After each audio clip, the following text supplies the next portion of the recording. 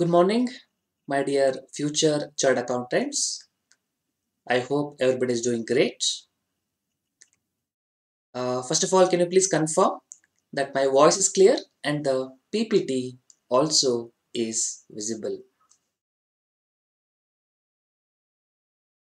Yes, thank you.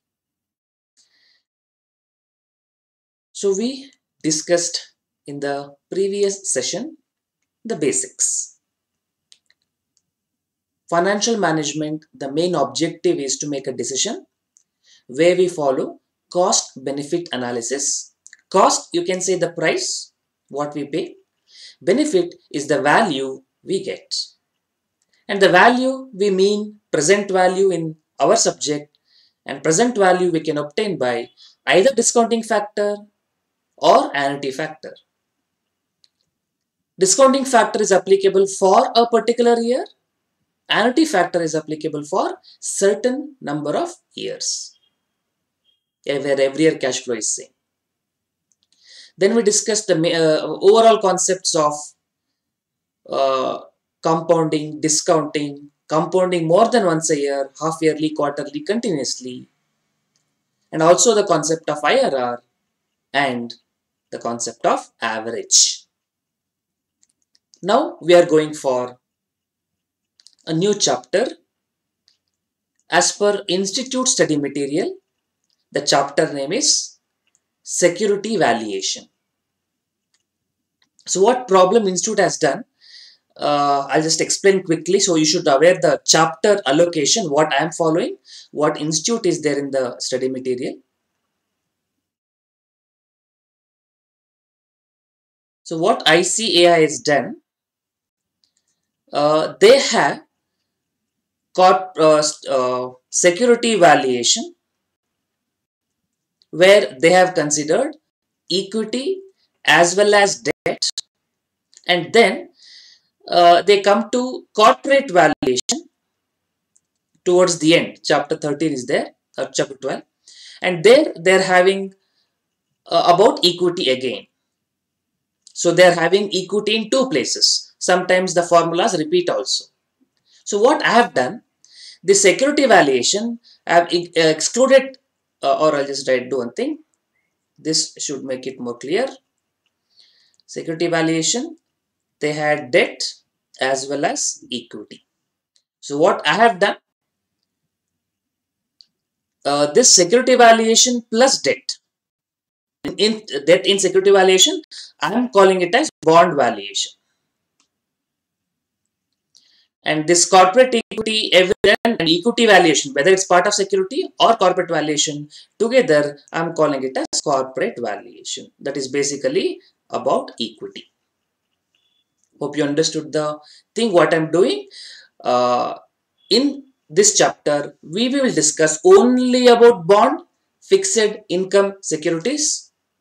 And when we go to the corporate valuation we will discuss only about equity so broadly, you are having two investment choices from the investor point of view.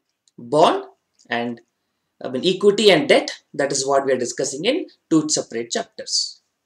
So first, let's come to the bond valuation. So what I'm trying to do, I'll try to do this for uh, other chapter as well. Initially, I'll try to spend as much as time as possible to give you the overview, comprehensive overview so I am sure this might be a little boring for some people because I will be discussing too many theory points, uh, too many concepts. Uh, there is one method. I tell the concept, we will do a problem. There is one method. Uh, I would like to give overview first overall discussion of bond valuation then we can take a problem based on that of course when i'm explaining also i'll be uh, taking numericals to make you understand the concept so bear with me. First, let's go through the concepts in detail and then we'll take up the problems. There again, I'll explain the concept so that it will be a kind of revision as well as you will be able to do the problems.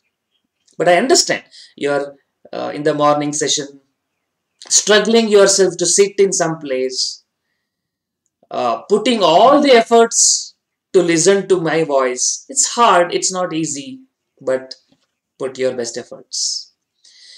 Okay, so let's come to the bond. So we are having two sets of people here. One, let's say investor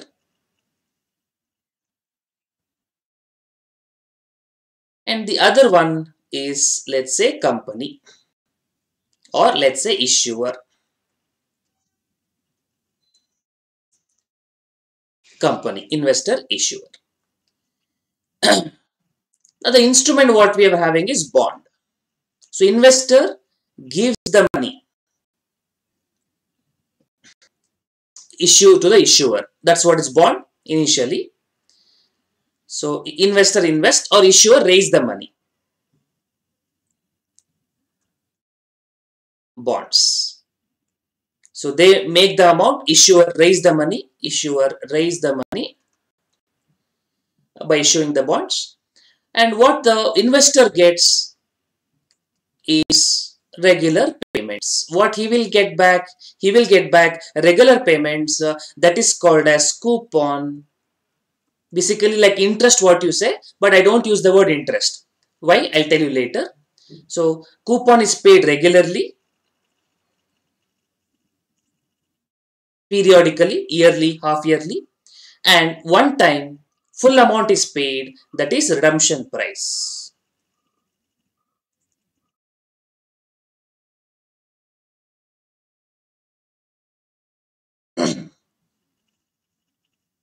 redemption price that is uh, on maturity.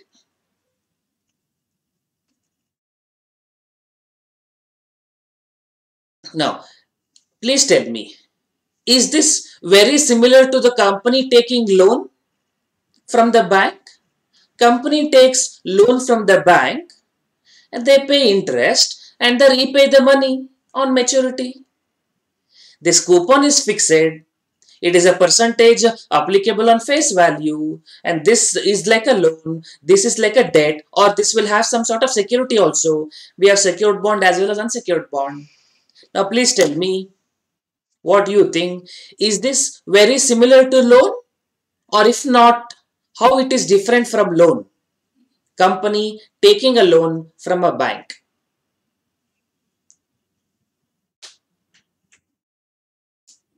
They raise money. What do you think? Is it same as taking a loan? If not, how it is different?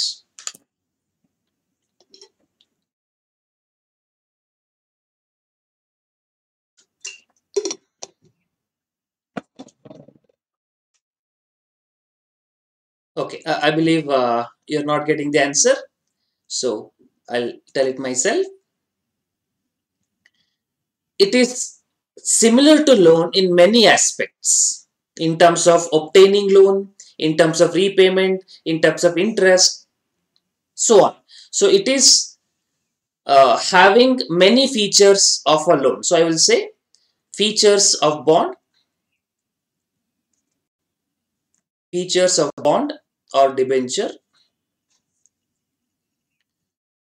it has uh, it is similar to loan or we say it is a debt representing security it represents debt of a company. It is similar to loan. In many aspects. It is similar to loan in many aspects uh, such as uh, the whatever it's, it's it's a loan I mean it's it's a debt such as it is debt for a company there will be lender and there will be interest payment regularly. Interest payment and uh, repayments etc it is very similar uh, in all these aspects. But it is different from loan in one important feature. It is different from loan. One important feature Can you tell me what it is? The loan don't have that feature whereas a bond has that feature. It is different from the loan that is in, in market uh, in marketability or security in marketability. What do you mean by marketability? This bond can be transferred, can be sold. There is a market for it. Whereas in case of loan, there is no market. Loan cannot be sold. So this investor can sell it, can sell this bond to another person. This investor can sell or market, sell to another investor or another bondholder another investor. So it's a transferable instrument. That is the main point. So bond is a transferable instrument.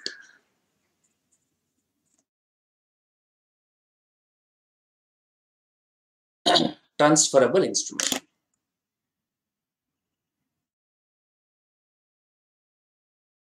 Okay, so please write down these basics of bond valuation, uh, one basic chart and the features of bond. And if you have done, let me know it.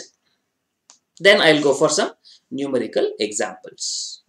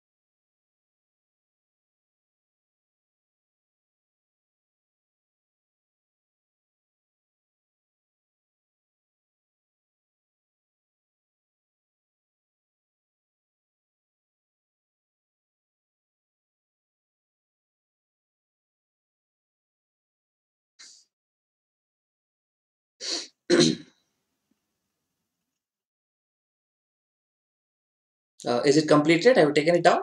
Yes? Okay, fine.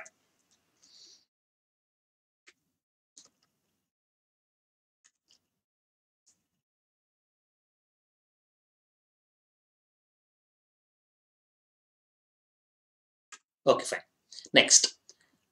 So what is the main important aspect here? The bond valuation is the marketability. So we have to understand the market price. How do you value it? So first topic for us is valuation of bonds. Valuation of bonds. okay, now first of all, let me give one basic simple concept.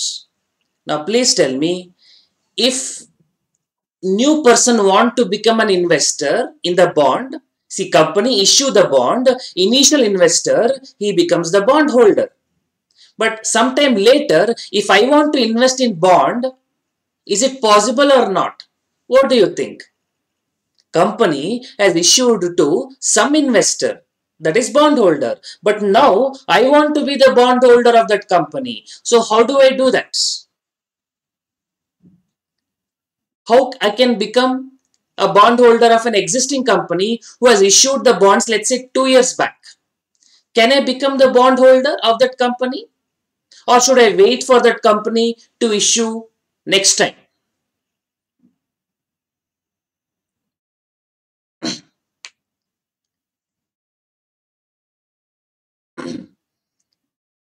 okay, uh, I think uh, the flow is not coming. So I'm not getting the uh, any uh, feedbacks for any of my questions. okay, so uh, I think uh, you don't want much of interactive sessions. Then I'll make it one way only uh, I can't help. Fine. So let me first mute all. Fine. So uh, as I just showed you, now company is there, issuer is there, company issue the bond, a person becomes the bond investor. But later if somebody wants to become the holder, then he has to purchase from the markets. Keeping that in mind, if let's say issue price or let's say face value only is thousands and coupon payment is let's say 8% and let's say maturity period is 5 years. Okay, now every year how much you get? Coupon 8% per annum. So 8% on 1000 you will get 80 rupees every year. So many people think that this coupon is your income. Many people think that. Oh, I have invested 1000, I get 8% per annum. So 80 rupees is my income. That is my income. 80 rupees every year I get. But the answer is not true. Why? Because later point in time, suppose market price has become 1100 just for example purpose then I still get 80 rupees only 8% will be on face value uh, coupon will be not on market price so if I think from investor point of view what is my return? My return is not 8% right? Because uh, 80 rupees on 1100 if you calculate then it will come to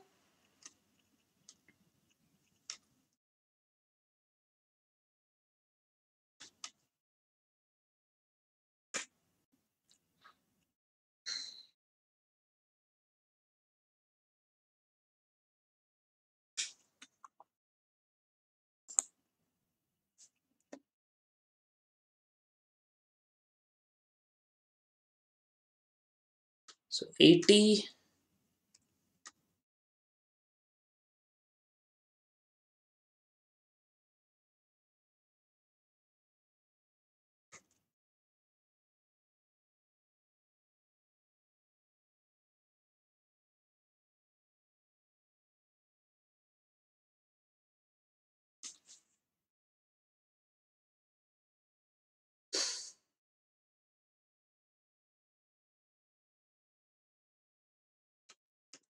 80 by 1100 into 100 you get almost only 7.27 percentage.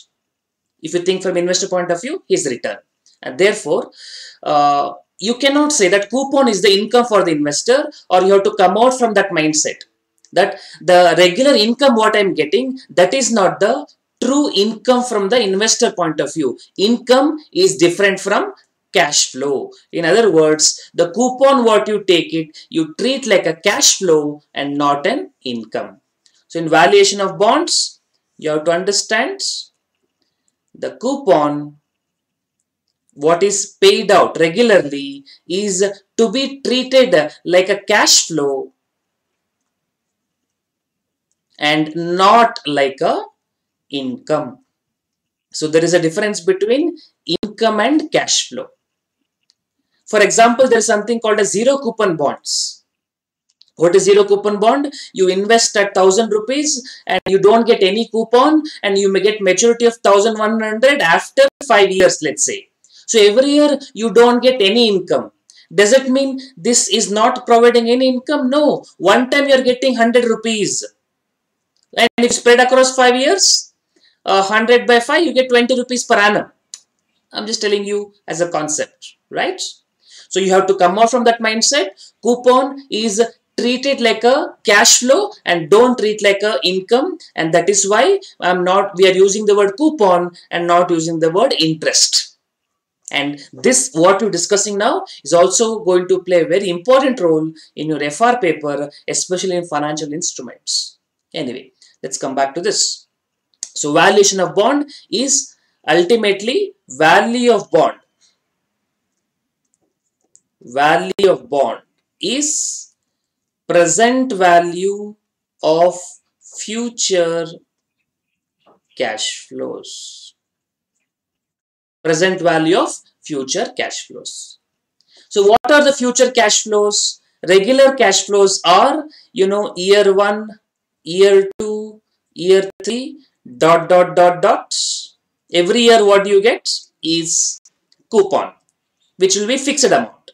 So coupon for year 1, coupon for year 2, coupon for year 3 and so on.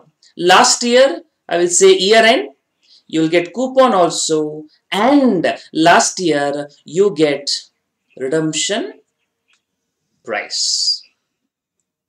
And this present value, when you calculate the coupon, I told you coupon you treat like a cash flow, the regular cash flow. And every coupon you do a present value. And last year coupon as well as redemption price, the present value what you get. And that is what is value of the bond. That is how much you should be ready to pay equals value of the bond. And you know, since every year coupon is same, for coupon discounting, I can use uh, annuity factor. And redemption price discounting, I can use discounting factor. I can do faster. Either, otherwise, coupon also I can do it one by one. So please write down this. The, after this, I'm going to write it in a uh, uh, formula format, equation format, and then we'll write in our regular tabulation format. So first write the chart format, representation of present value calculation. And of course, present value, you have to discount by required rate of return.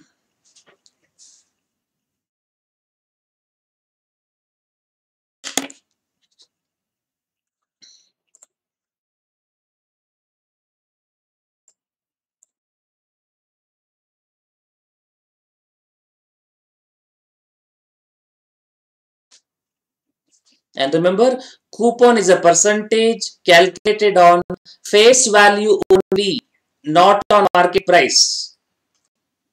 In some charts, I'm getting the answer that 8% should not be applied on 1100. This is always applied on face value, not on market price. Coupon does not change. Coupon remains fixed. It is fixed. This is fixed coupon.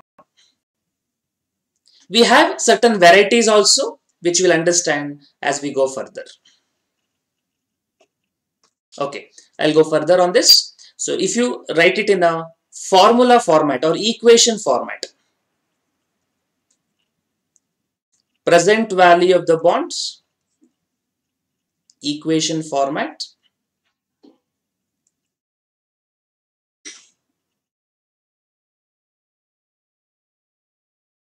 value of bond is given by the coupon divided by I'll say 1 plus K discounting rate first year discounting rate plus second year discounted coupon divided by 1 plus k whole square. I hope you understand what we are doing. I'm calculating present value. What is the present value formula? Future value by 1 plus r to the power of n. So first year cash flow, I'm computing present value. Second year coupon i'm getting computing present value and so on. And last year redemption value divided by 1 plus k to the power of n. Last year nth year. Since coupon is same every year i can write like this. Coupon multiplied by annuity factor because every year coupon will be same and redemption price, redemption value, RV, redemption value multiplied by discounting factor. Uh, if I write in tabulation format,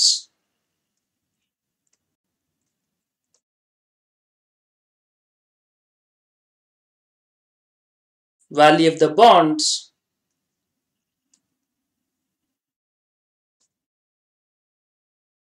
is or if, if I write in tabulation format like year cash flow, discounting factor, discounted value. Year 1 to nth year, every cash flow I get coupon. multiplied by discounting factor, I'll multiply it by annuity factor. Every year coupon will be same. But sometimes coupon will be different also. In that case, I have to use every year uh, discounting factor separately. And last year, I'll get redemption value and we multiply it by the last year discounting factor. Whatever the amount I get, that present value total is the value of bonds. So write down this equation format for valuation of bond, uh, tabulation format of valuation of bond. This value people also call it as intrinsic value.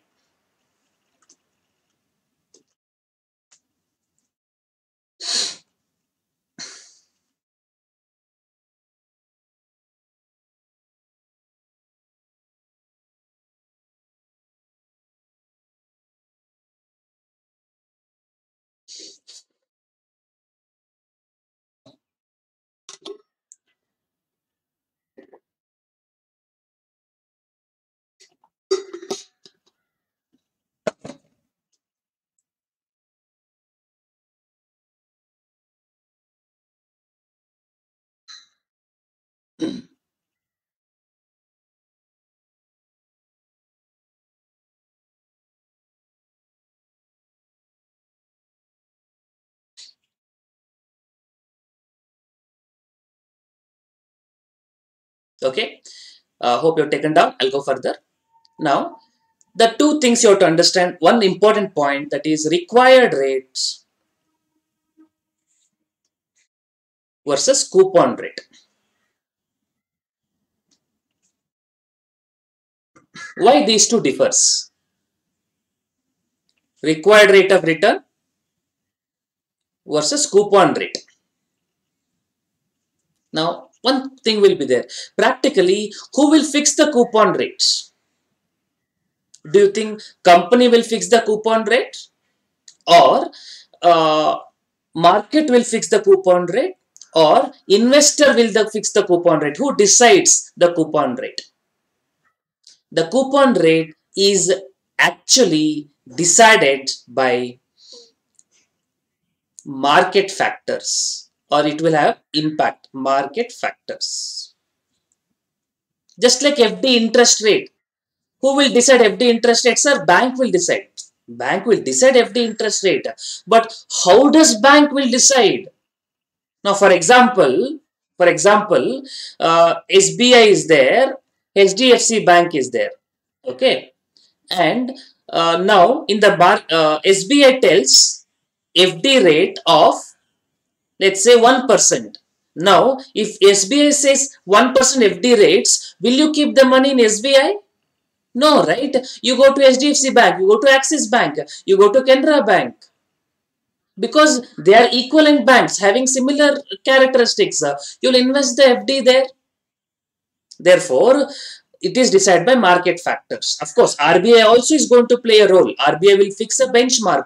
We have repo, repo rate, reverse repo rate, many things to learn. But one thing you keep it in mind. Uh, coupon rate, it is fixed by company as per the agreement, but it is influenced by market factors. So, I, as we just understood, you will have the investor and you will have the issuer, right? And investor invest money and issuer will make the payment of coupon. And how this coupon will be decided that is the market rate rate at the time of issue. The rate prevailing in market. At the time of issue rate prevailing in the market at the time of issue. That means uh, if I take the fixed deposit now for 5 years, I'll get today interest, whatever is running in the market. What is today FD interest? Uh, FD interest is around uh, 5% now, 5.5%, 5% now. But had I taken the fixed deposit 10 years back, at that point in time, what would be the FD rate of interest? It might be even as high as 8%, 9%. I hope you're getting the point. The rate of interest is influenced by the prevailing market factors. So, uh, companies issuing the bonds today in the year 2025, let's say, in the year 2025, whatever is the market rate and that will be given. So, when or, or we can write like this, at the time of issue, at issue or at the time of issue,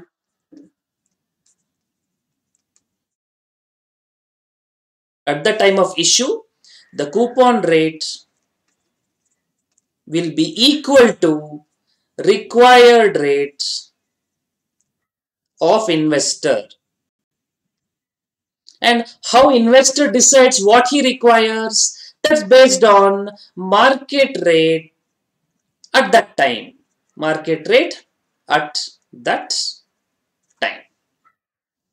I hope you got this point. Uh, I, will be spending a little bit more time. Uh, don't think it is I'm dragging this because practically many people think about stock market.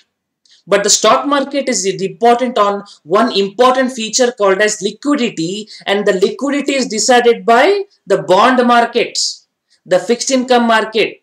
The more you understand this, the liquidity aspect, how the money comes in and goes out and this can influence stock market. You can play, you can trade, you can invest in stock market better if you understand the cycles in fixed income market. Anyway, keep that aside. I'm only trying to tell one simple point. The required rate is from the investor point of view, coupon rate is what is provided by the company. And that will be equal at the time of issue because how does company decide? How does the banker decide? What should be the fd rate? Depends on market rate at that point in time. So what will be the coupon rate? The company is going to pay. Is what is required rate of return for the investor? And what is required rate of return for the investor? That is market rate at that time. Market rate at that time. Now later as the time progress. As the time progress. Required rate of return will change. Why? Market factors will change. 10 years back the position of the economy was different. Now the position of economy is different. 10 years back had you put fd it would have gone for 8 9% now the fd is coming only for 5 6% 5% but will the coupon change? What I'm trying to tell. Let me explain.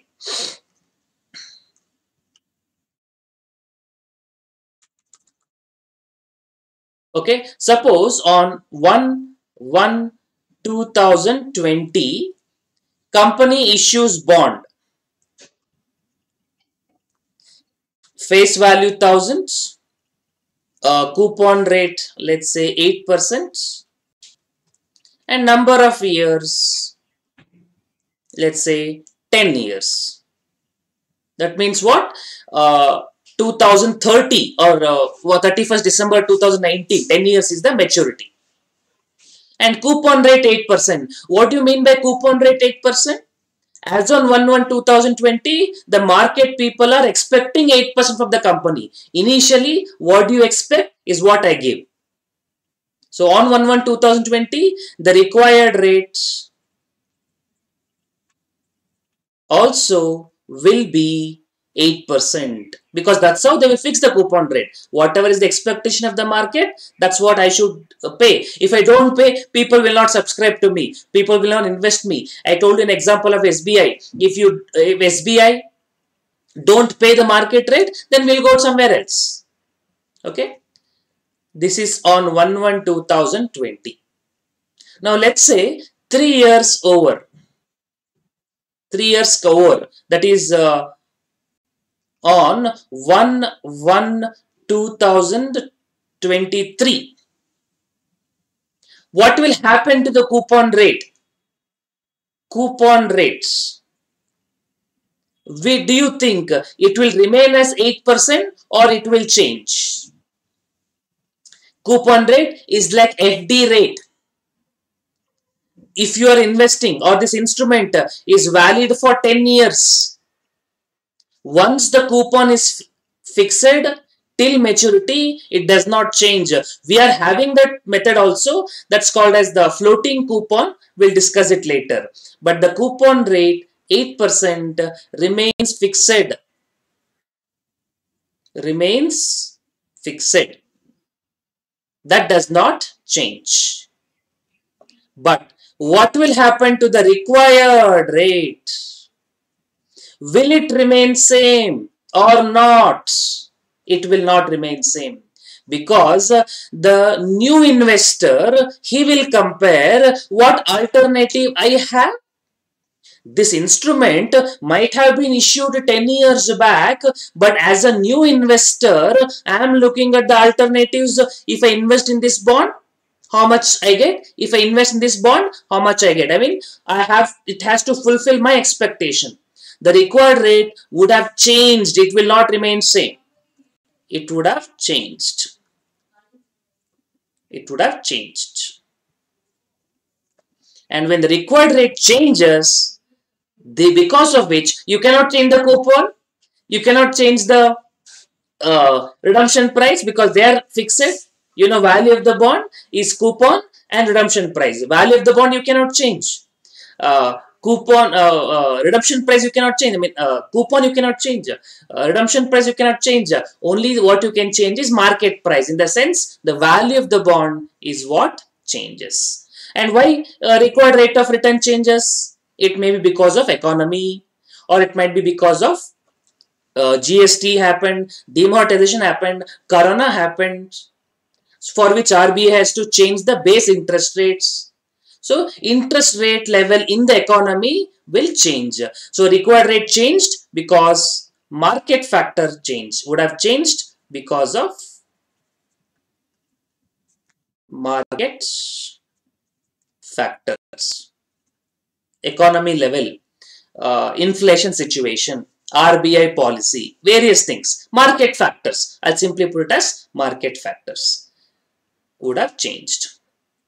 So this is how, so how do you calculate the value of the bonds? Uh, let me calculate. You can note down this example. I'll quickly uh, compute the value of the bonds. Uh, on 1-1-2020, how the value of the bond is there. Three years later, how the bond will change.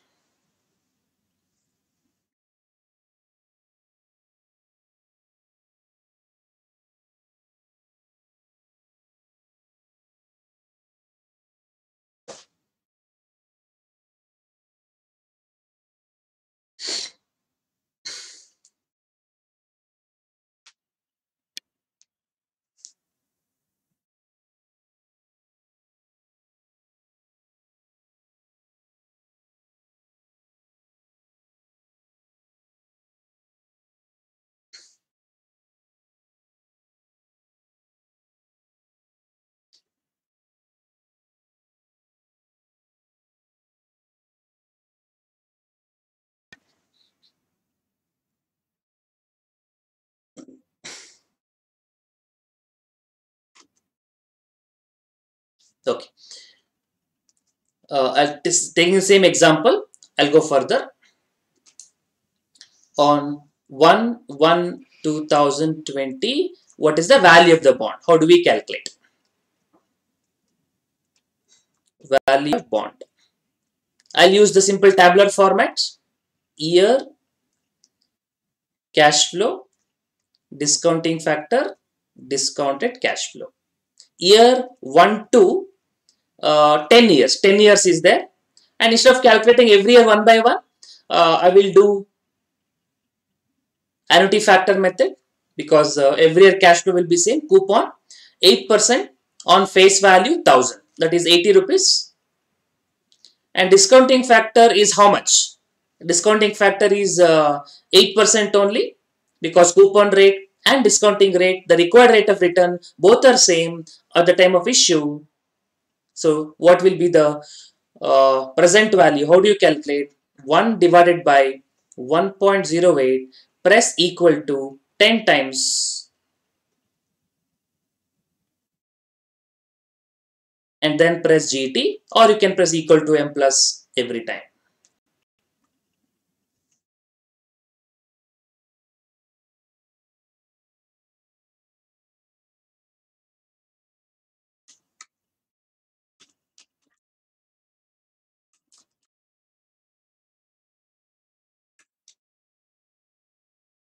6.7101.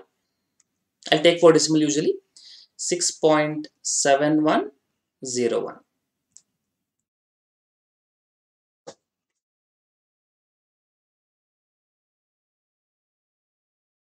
80 into 6.7101, 536.81. And last year, you get the uh, redemption value. When nothing is given, the face value itself is redemption value, which is 1000 rupees.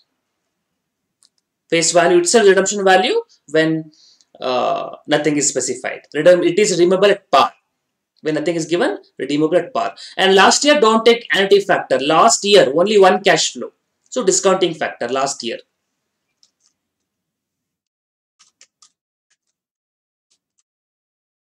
Point four six three two. Yeah, point four six three two.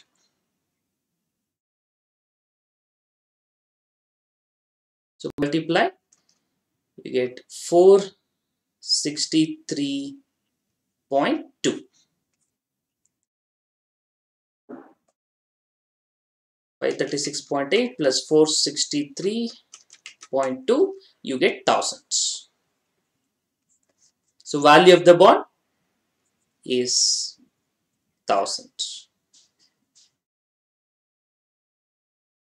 Okay, this is at the time of issue. Now on 1 1 2023 in the sense uh, three years later value of the bonds suppose at that point in time required rate of return has become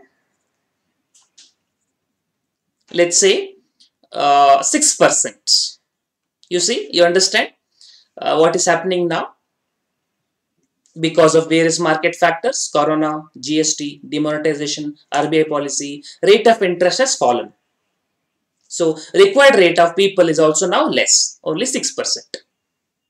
So what will be the value of the bond then? Year, cash flow, discounting factor, at what rate?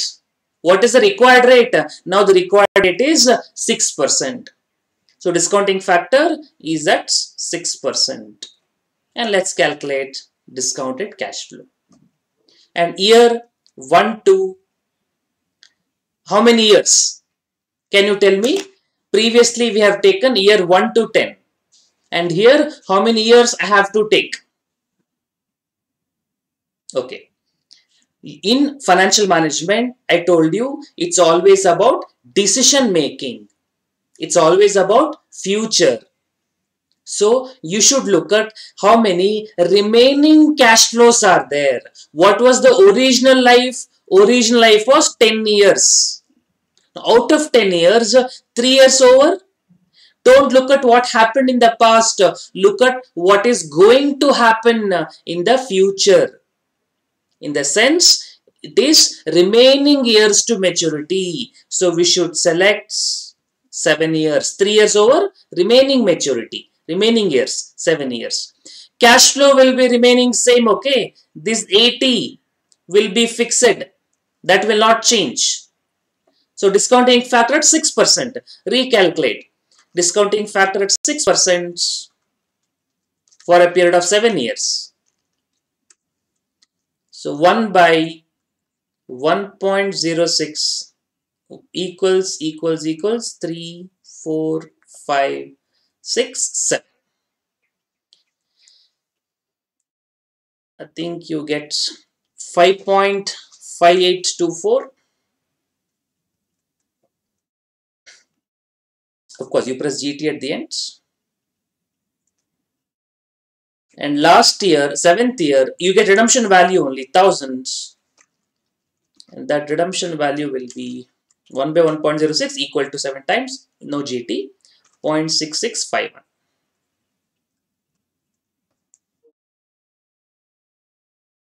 So 80 into 5.5824, 446.59. 1000 into 0.6651 665.1 so total 111.69 value of the bond.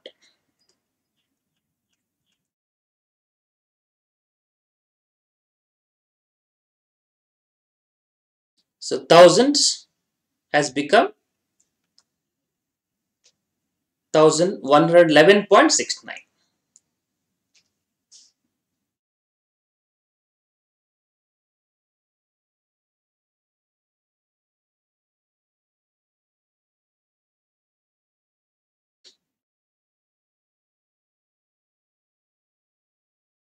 Okay, if it is, let's say on the same date, 1 1 2023, suppose required rate is not 6%, suppose it has become uh, 10%. That is uh, rate of return not increased but uh, decreased but not increased. 8% was original rate, then 6% reduces. That is what we have done. Uh, why don't you do another situation? What if it increases? 8% becomes 10%. In that situation, what would you analyze? In the sense, what would be the value of the bond? Let's recalculate quickly. Year cash flow discounting factor at the rate of 10% discounted cash flow. Year 1 to 7, year 7, cash flow 80, thousands, and discounting factor 10%, 1 by 1.1 plus equals to 7 times GT.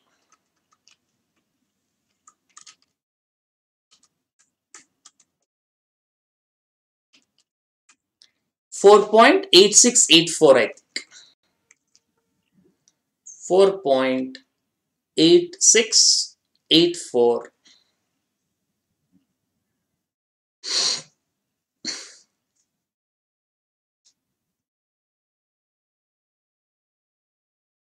and last discounting factor 0.5132 so this is uh, 513.2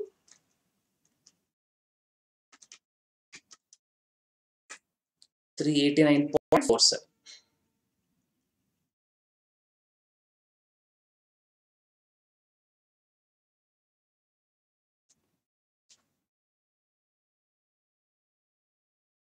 So total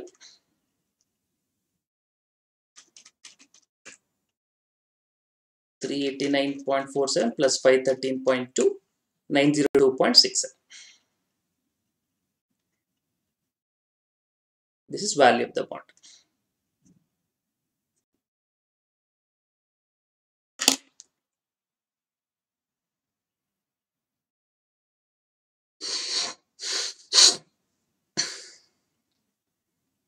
So ultimate concept of value of the bond any valuation in financial management is present value of future cash flows.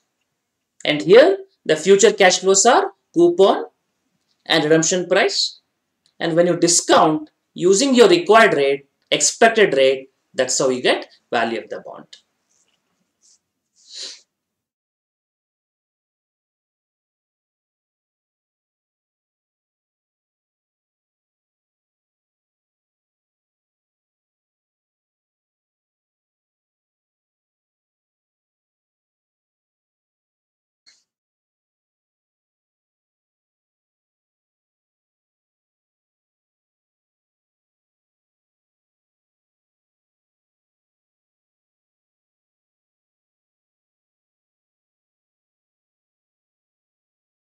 Okay, hope you understood now.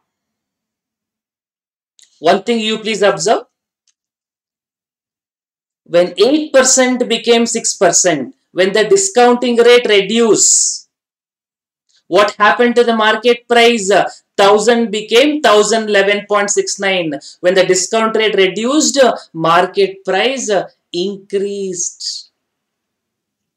And when 8% became 10%, when the discounting rate increased, what happened to the market price? The 1000 became 902 market price reduced. Remember, I told you inverse relationship. The market price, when the discounting rate reduces, the present value increase. When the discounting rate increase, the present value reduce.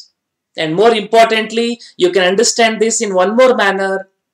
If your uh, coupon rate and required rate both are equal, then present value will be equal to face value. If your uh, uh, required rate is less, then the present value will be more. If required rate is more, the present value will be less. Let's try to do these observations.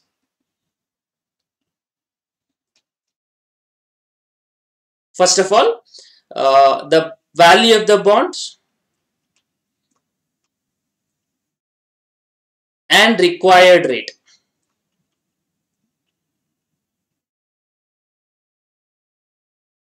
Inversely related, correct? Inversely related. Inversely related. I'm not writing in sentences. Hope you understand inversely related. One increase other decrease. Then if required rates is equal to coupon rate then it implies your value of the bond will be equal to face value because uh, redeemable at par that's why. Otherwise that's redeemable value is equal to face value.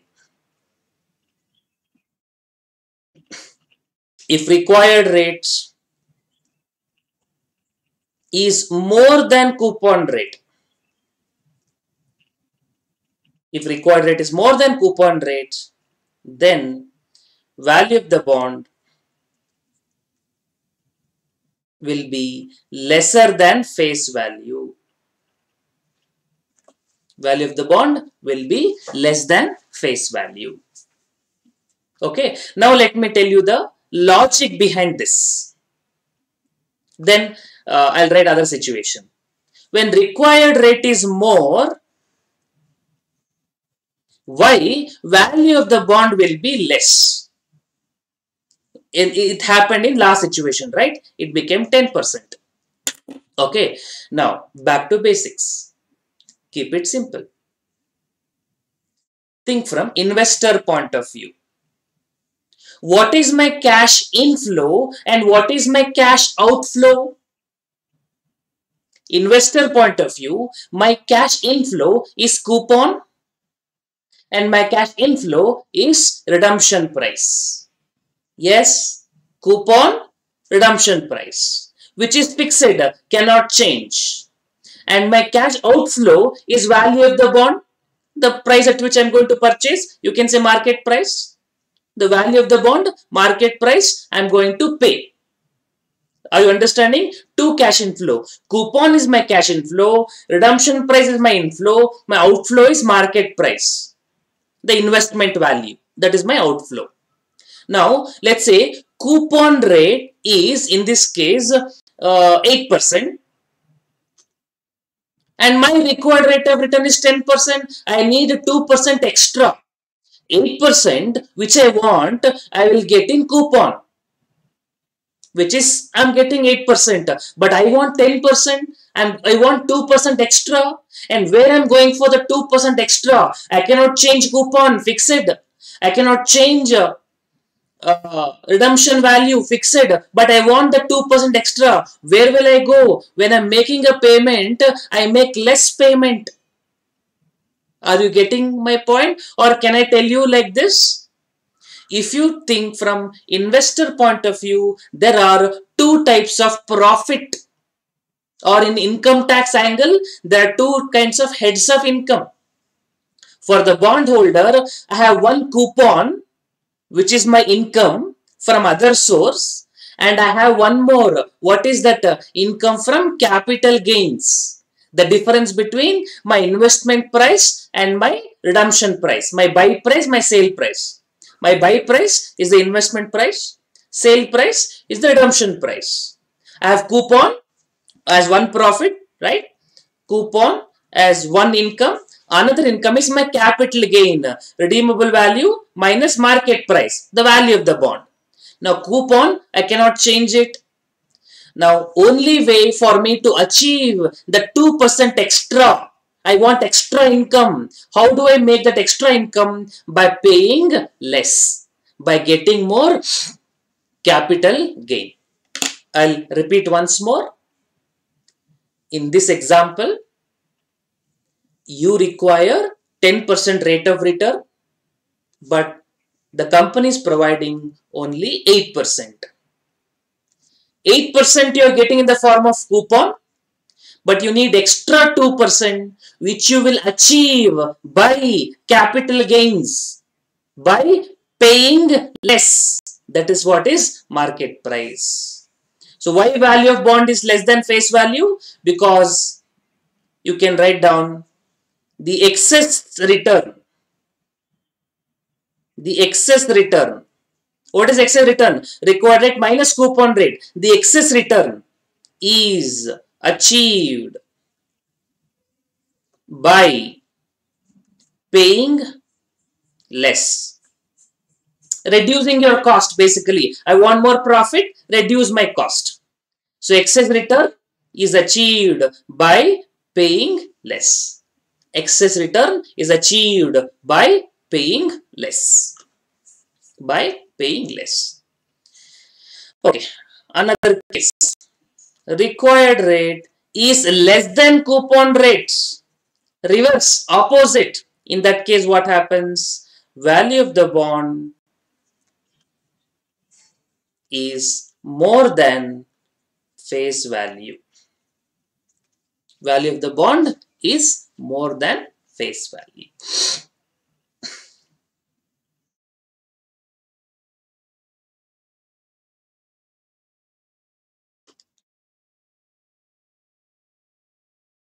And why? Uh, because uh, they are offering 8%, but you want only 6%. You don't want that extra 2. That extra 2, what you don't want, will increase your cost. So, opposite of the previous one. So, you understand one, that is sufficient. So when required rate of return is less than coupon rate, value of the bond will be more than face value. Or in other words, the excess return which you don't want, it will be taken away or you are end up in paying extra price. And thereby you achieve your required rate.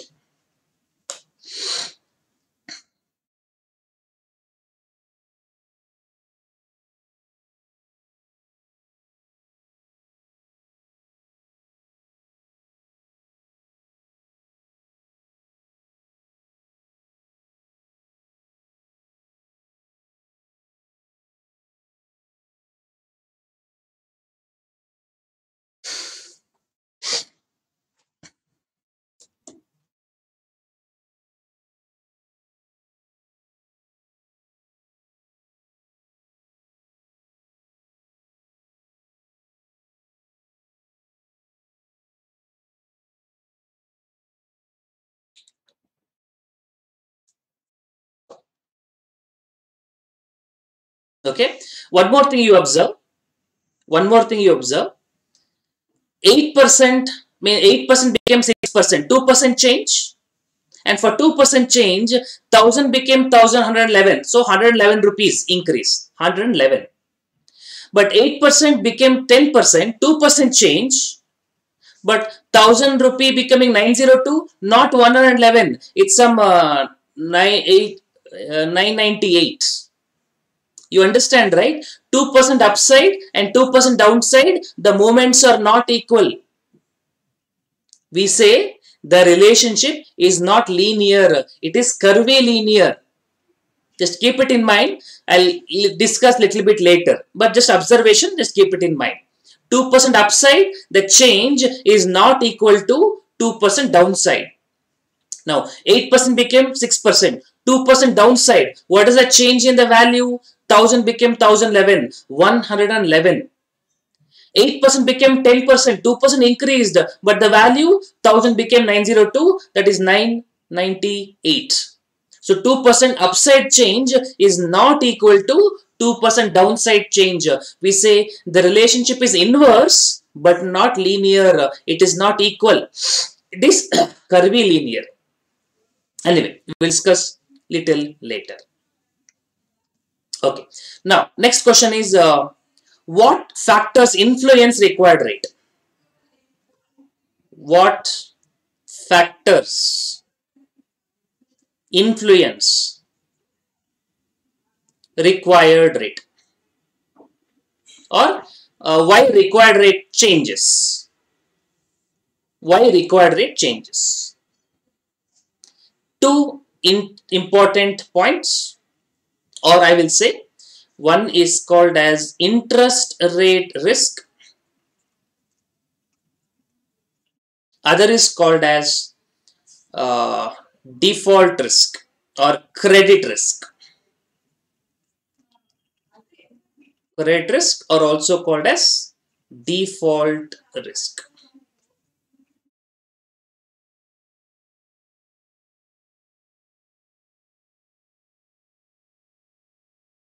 Okay, what is interest rate risk? That is uh, uh, interest rate in the economy.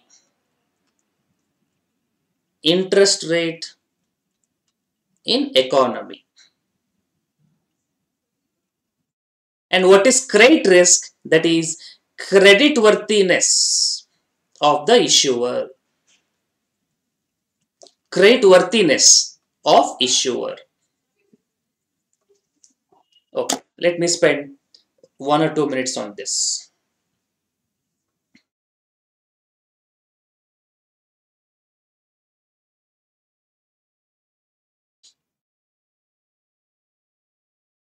Okay. Uh, as I told you earlier, if State Bank of India offers only 1%, HDFC Bank offers 5%, Axis Bank offers 5%, Canara Bank offers 5%, obviously go to other bank, you don't go to SBI. So interest rate movements are what is interest rate in the economy. That's one thing. Second thing, now if some cooperative bank some uh, NBFCs, uh, Manappuram Finance, Muthoot Finance, uh, they offer even 10%, uh, 12% interest rates versus HDFC Bank or versus SBI. Now, would you go for the cooperative banks because they will give you more rate of interest? Or what is the reason why they're offering more rate of interest? Because they carry more risk. So why people are always favorable to FD in bank? Because it is safe. But whereas you can also put FD in NBFCs, Manappuram Finance, Muthoot, Bajaj Finance. You can also put FD in uh, uh, uh, cooperative banks, some Vishweshwaraya cooperative banks, some cooperative banks, where rate of interest is also high, but risk is also high. That is what is credit worthiness of the issuer. And who will decide the credit worthiness of the issuer in uh, bond market? This concept of identifying credit worthiness of the issuer is called as credit rating. Because when company goes large scale, so many investors will be there. Investors are not exposed to understand credit worthiness of the company. So they need to go through agency for rating them. For example, we have most famous agency CRISIL. We have ICRA, ICRA, then CARE, Fitch, Modi. So many ratings are there, Moody ratings. So when the rating is high, AAA, that means it is safest rate of interest will be lowest. If double A, little bit less uh, category means more risk, more return. Single A, B, triple B, C, in the sense higher the ratings, lower the risk. In the sense higher risk, higher return. So these are the two main factors which influence required rate. Okay. Now, it's also a perception of risk Right? This is also percep perception of risk.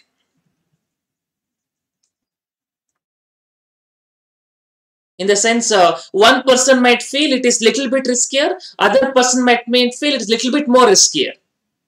But ultimately, everything should get reflected in the market price. Okay, uh, I hope you have taken down till here. Now, I'll come to that perception, I'll come to that market price uh, now, little bit later, but uh, hope you have written down till here.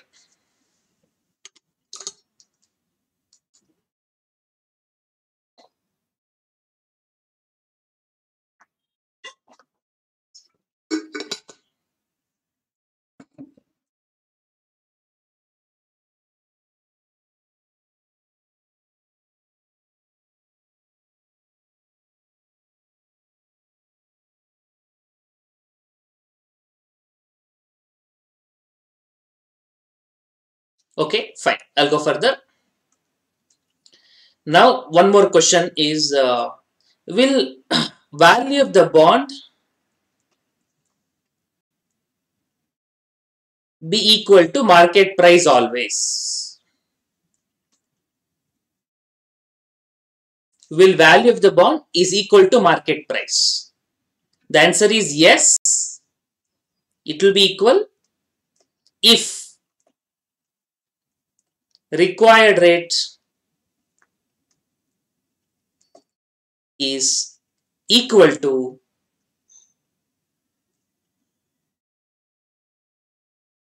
the uh, what a market rate what everybody says. What required rate and what expect what is given by market. That is uh, if required rate is same as what everybody expects. If required rate is same for all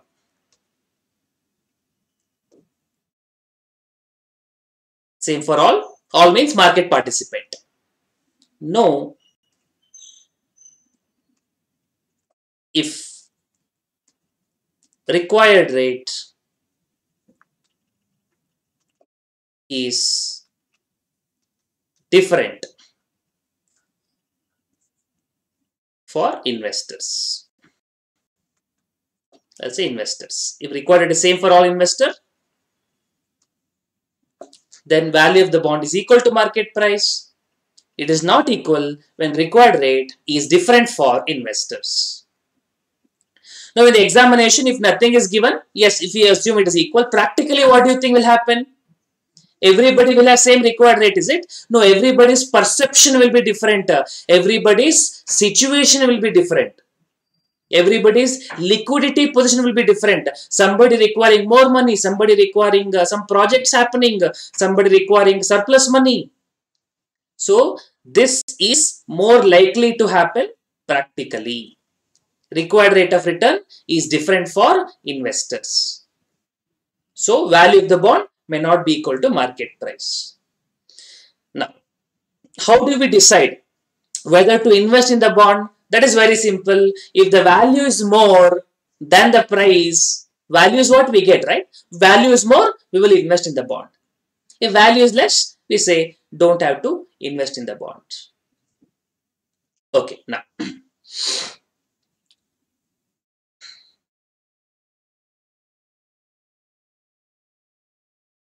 Suppose, let me take a numerical example.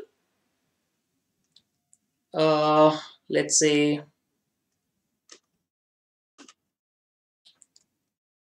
face value of the bond or I'll write in the fresh slide.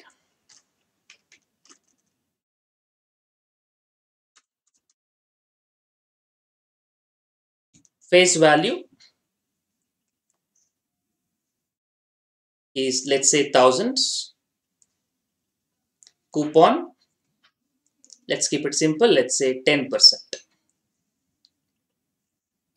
remaining time to maturity. I don't want how many years it is uh, invested back.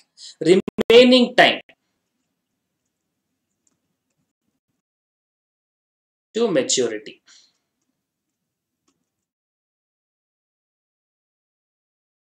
Remaining time to maturity, let's say 5 years.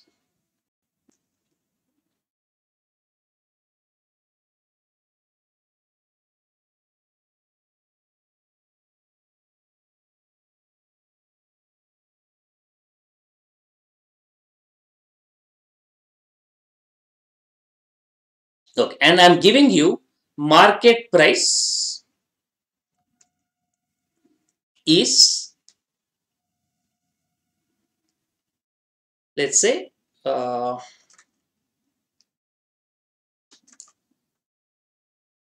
nine fifty rupees. Are you getting the point? We are having five years. So year one, year two, year 3, year 4, year 5.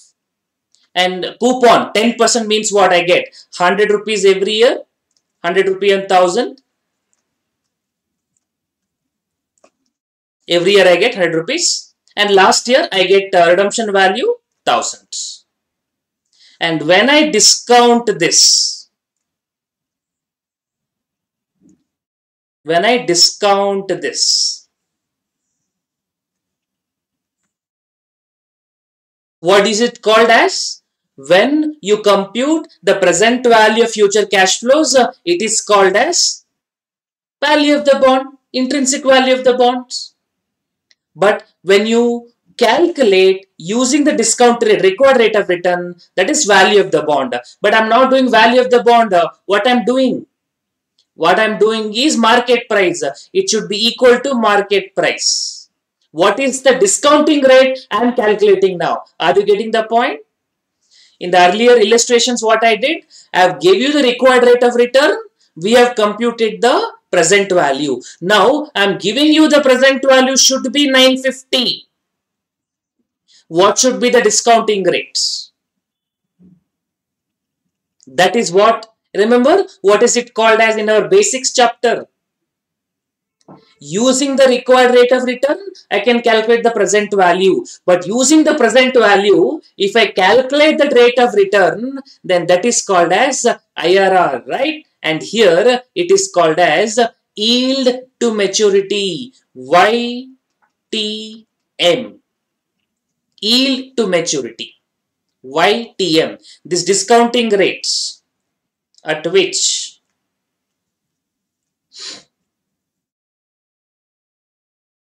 you get the present value that is called as YTM. The discounting rate at which the present value will be equal to market price is called as YTM, yield to maturity.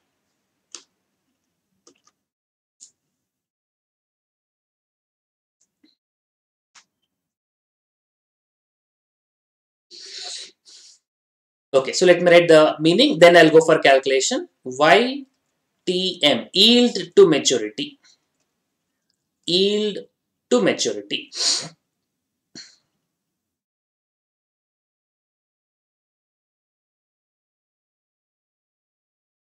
YTM. So basically this is the yield or return provided by the bonds for the investor if held till maturity. Of course, if you sell in between, market price will be something else. Your uh, actual yield also will be different. But this is the return provided by the bond for the investor if held till maturity. You see, everybody's required rate of return changes but we are not calculating the value of the bond from investor point of view. This is from instrument point of view. Let me write it. In other words, this is the rate or discounting rate at which present value of coupon and redemption value is equal to market price.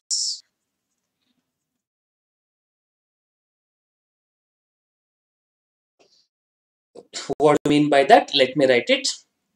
So you have coupon, I mean, you have year 1, year 2, year 3 and last year, year end.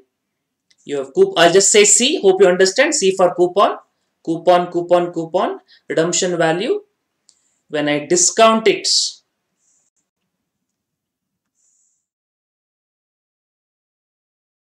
using required rate of return.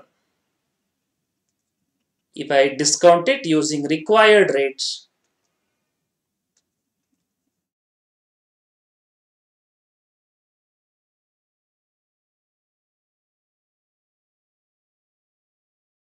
the present value what I get is value of the bond.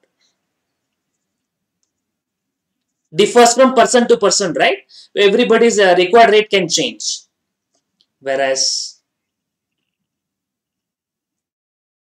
if I discount year 1, year 2, year 3, dot dot dot, year n, coupon, coupon, coupon, redemption value, discount it,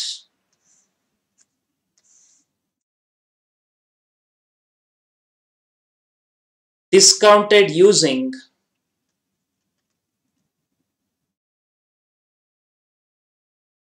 YTM. When what will I get it? I get present value as market price. Now, this is same for all, right? Market price same for all, same for all investor. Whereas value of the bond is different subjective. That's what we discussed basics also. Price is market price, same for everybody, but value of the bond differs from person to person basis. Everybody's required rate of changes, everybody's value of the bond changes, but market price same for everybody. So YTM same for everybody. Other words, value of the bond is from investor point of view, whereas market price and YTM is from instrument point of view, IRR. Value of the bond is investor point of view. Whereas market price or YTM is instrument point of view. Market price and YTM is from instrument point of view.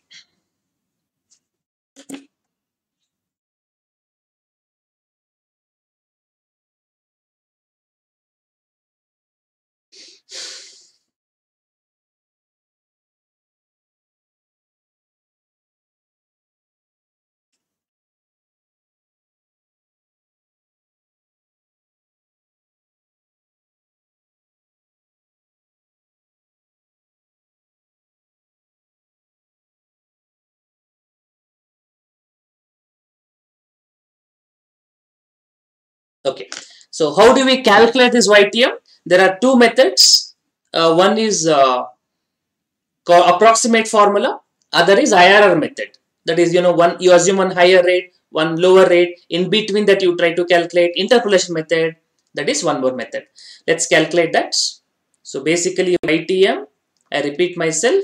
It is from instrument point of view or bond point of view.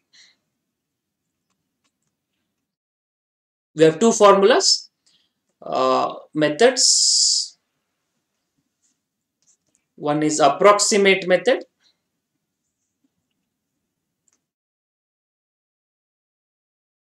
The other one IRR method or interpolation method.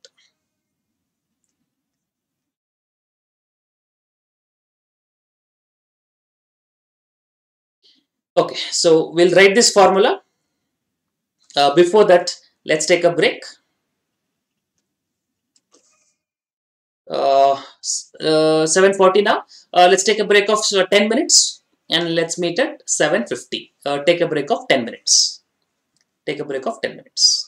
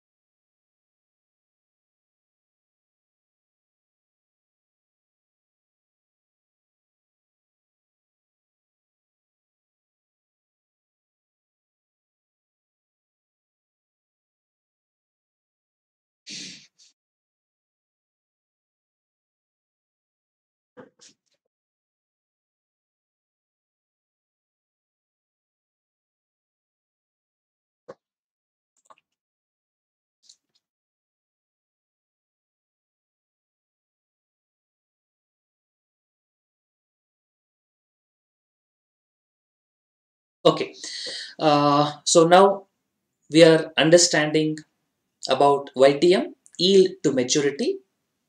Basically, we are finding the discounting rate from the instrument point of view based on market price. So we have two formulas. Approximate method is easy. IRR method more accurate. But in the examination, if they just ask you YTM, you can use any of the methods. So approximation method means the formula is numerator is like a return, denominator is like an investment. Numerator is coupon, there is a return and then redemption value minus market pr price. RV redemption value minus market price divided by N remaining time to maturity whole divided by average investment redeemable value plus market price divided by 2.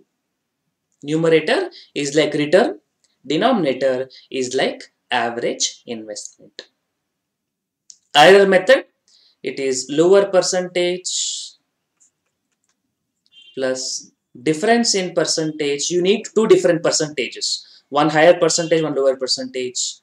So difference in percentage divided by difference in present value multiplied by I need a little more space. Hope I can write it. The present value at lower percentage minus market price investment. The IRR method what we have learned in the basics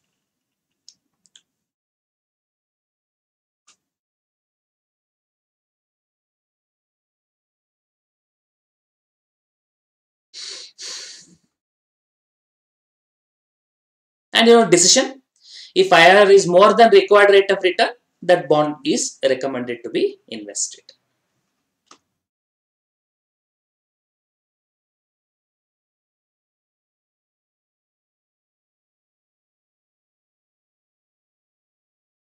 Okay. Now let me quickly apply for this problem. Uh, this illustration I given 1010 percent. Okay. Now think logically uh, for this illustration. What is my regular income? My regular income every year is 100 rupees. And additionally i'm investing 950 i'm getting thousands. So what is my extra return? Extra return is 50 rupees. Capital gain uh, investment 950 redemption 1000 buy price 950 the sale value 1000 but that will not come every year. That will come only once so if I have to calculate YTM for this problem using approximation method,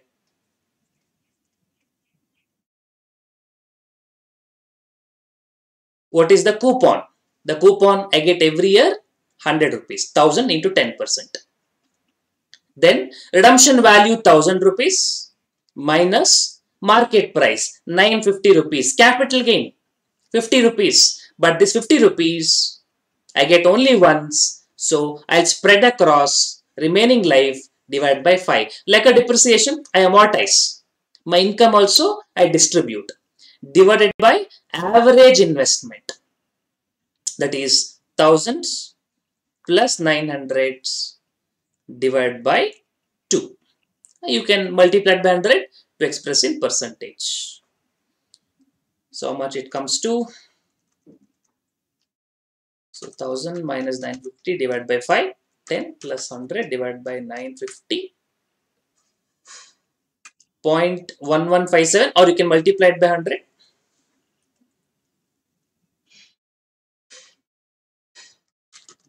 Eleven point five seven eight, eleven point five eight percent.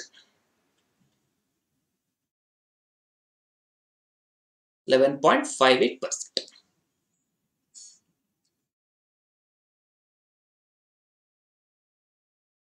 Okay, now let's calculate YTM using interpolation method.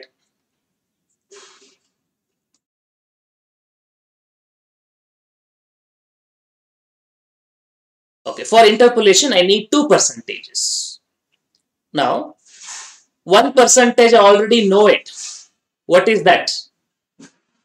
Uh, please tell me if my coupon rate is 10% and my discounting rate is also 10%, what will happen to the present value? I hope you know it. When my discounting rate and coupon rate both are equal, my required rate of return, coupon rate, both are equal. I can calculate, but you know it. Uh, when that happens, that uh, present value will be equal to face value. So that you know it. So if my discounting rate is 10%, then my present value is equal to face value 1000 rupees concept. Or you can assume some other rate. Assume 8% you can calculate. Now, I want the present value to be market price. What is the market price? That is 950. What is the percentage I require? Now, please tell me. My present value 1000 should become 950 present value should reduce. Now, present value should reduce means uh, what should happen to the discounting rate? Inversely related, remember, uh, if the present value should reduce, the rate of interest should increase. Inversely related. So, I should select, let's say, 12%. Assumed a higher rate.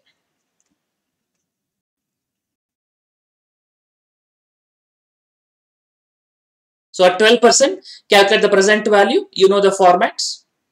Uh, present value is calculated by the coupon into annuity factor plus um, I can write in the equation format also plus the redemption value multiplied by discounting factor. I'm not writing in a tabular format. Hope you understand how to calculate this quickly coupon that is uh, 100 annuity factor 1 by 12% I'm calculating 1 by 1.12 press equal to 5 times GT how much is annuity factor? 10% for 5 years. 3.7908 1 by 1.1 equal to 5 times GT 3.7908 Hope you are getting this GT calculation.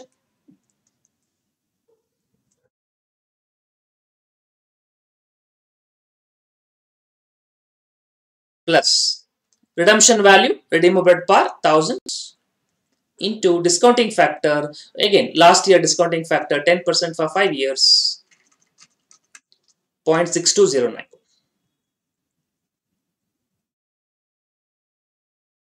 So this present value um, I can do in tabular format. I'm writing it in an equation. Hope you understand. This is 379.08 plus 620.9. Oh, sorry, I should have taken 12%. 12% uh, what is the discounting rate I get? Not this one, sorry. 12% I get 3.6048. 3.6048. 1 by 1.12 plus equal to 5 times GT. 3.6048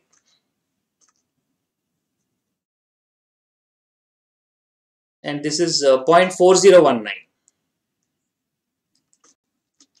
12% sorry uh, 0.5674 0.5674 so this is uh, 360.48 plus 567.4, 927.88.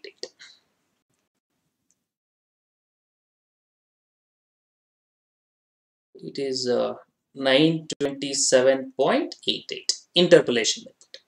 You can assume one more rate also. You can assume something like 8% uh, and calculate. Between that, you try to do it. Anyway, we got two percentages. Uh, we got two present value.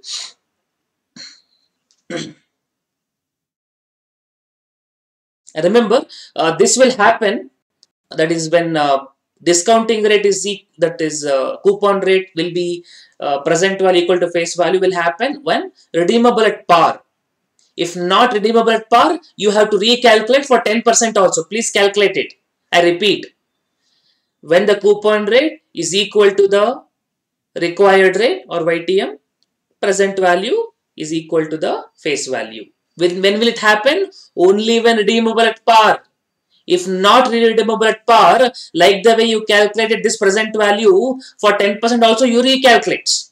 Here also you can calculate. I know it will come to 1000 only, so we are not doing it. So we got two percentages, uh, we got two values, and let's try to interpolate. So YTM, the IRR method, lower percentage, 10 percentage plus. Difference in percentage 12 minus 10 by difference in present value uh, thousands minus 927.88 into the present value. At lower value 1000 minus market price 950 so 10 plus 2 into 50 divided by 1000 minus 927.88 72.12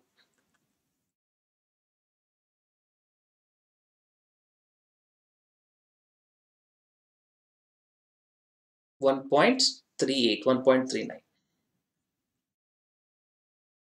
so 11.39 you can see here we got 11.39 percent and here we got 11.58 percent. Very close but uh, IRR or YTM is more accurate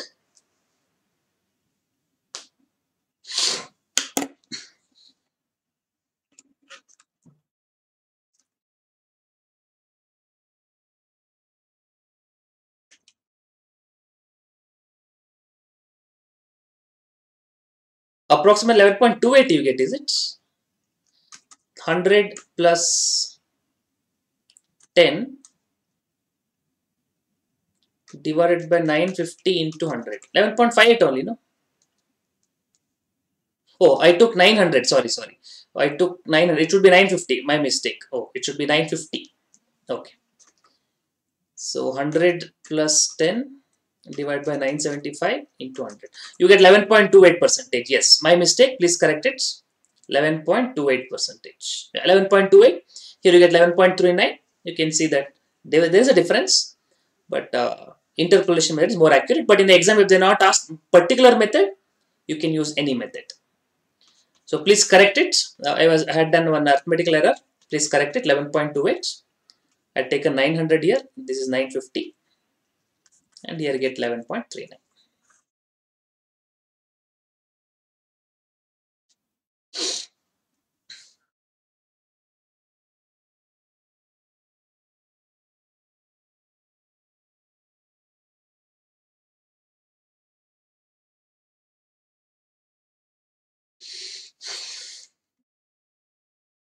So uh, we have discussed so far value of the bond, present value of coupon and present value redemption price, discounting rate, required rate of return.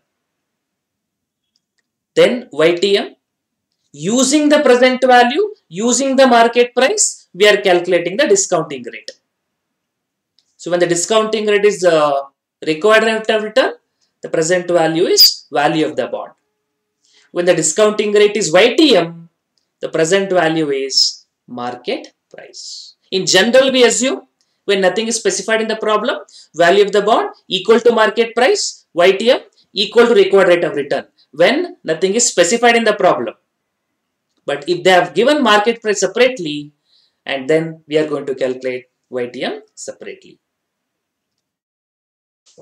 And also keep it in mind, it is YTM, yield till maturity. This is the return obtained by the investor, assuming he invests till the end and even the intermediate cash flows are assumed to be reinvested. If it is reinvested elsewhere, it's called as realized YTM. There's one more concept. We'll come to it later. But this is the important concept, value of the bond and YTM. These are the two important concepts. I hope it is fine. Okay, next.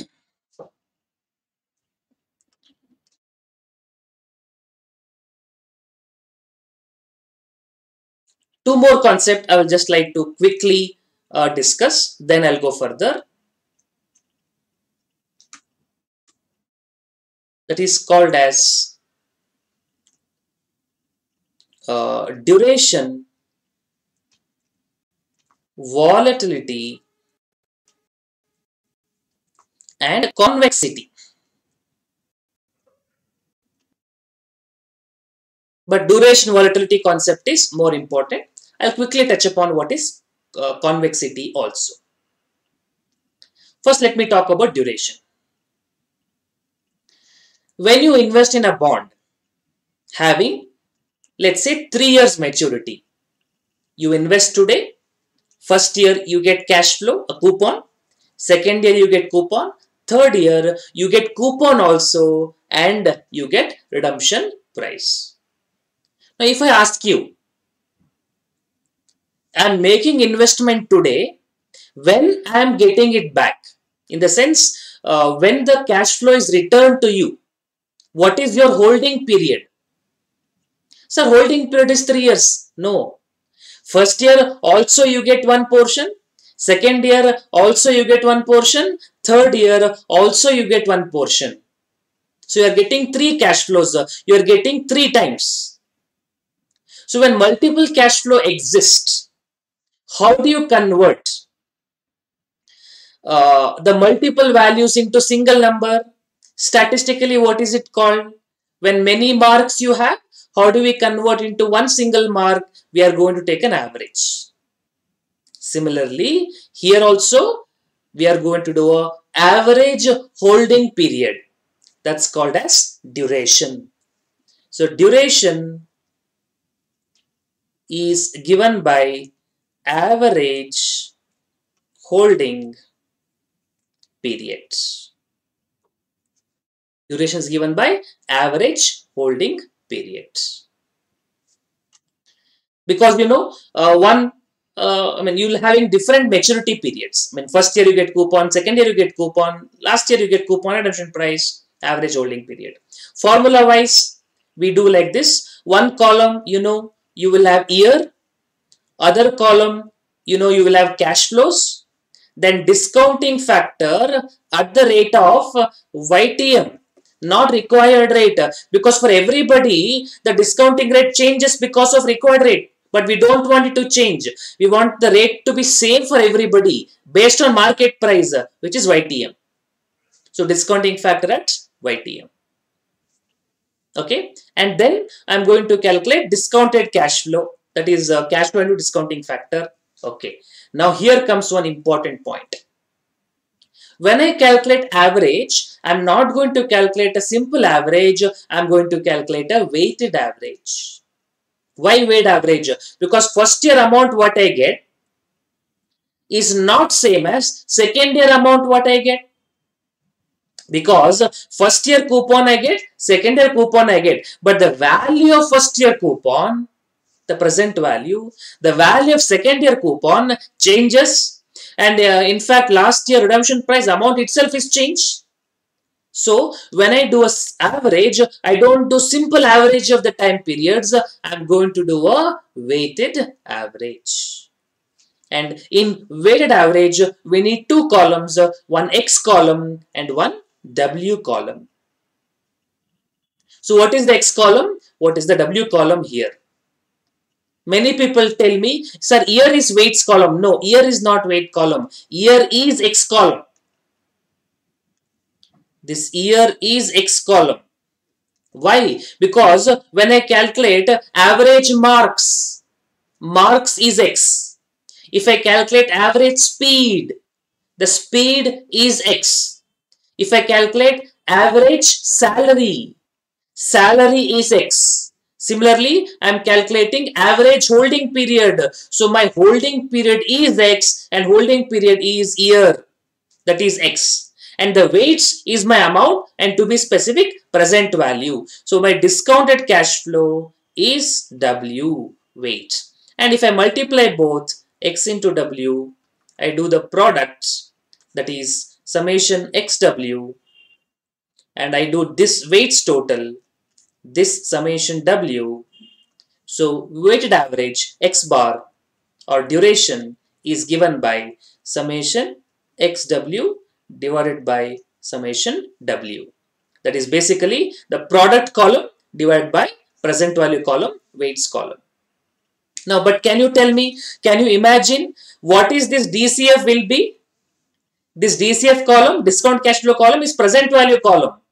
And we are calculating present value of coupons and discounted YTM. When I use discounting rate, what will be my present value? My present value is nothing but market price of the bonds. Why market price of the bond? When the discounting rate is YTM, when discounting at YTM, discounting factor is YTM, the present value should be market price. That's how we would have calculated implicit rate, intern IRR rate YTM. So when I discount YTM, my present value should be market price. This is about duration, uh, average, uh, holding periods. One more shortcut formula is also there, but let's understand this. Uh, Institute does in one more method. They convert this uh, weight into proportion. The DCF divided by total, DCF by total, you get on proportion column, P column, proportion. That they multiplied by year, you get the same answer in the column total. That's also you can present, but that will end up in one more extra column, so I'm avoiding it. Anyway, so you can write down this duration part.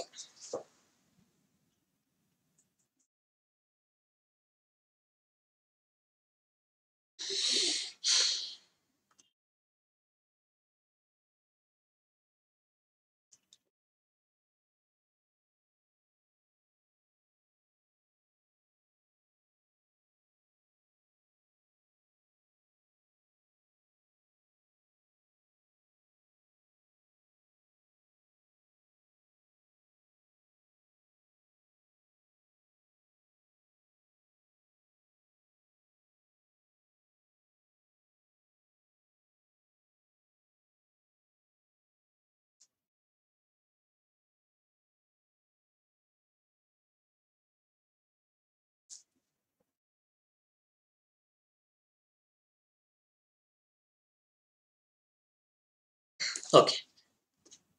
I'll go further next.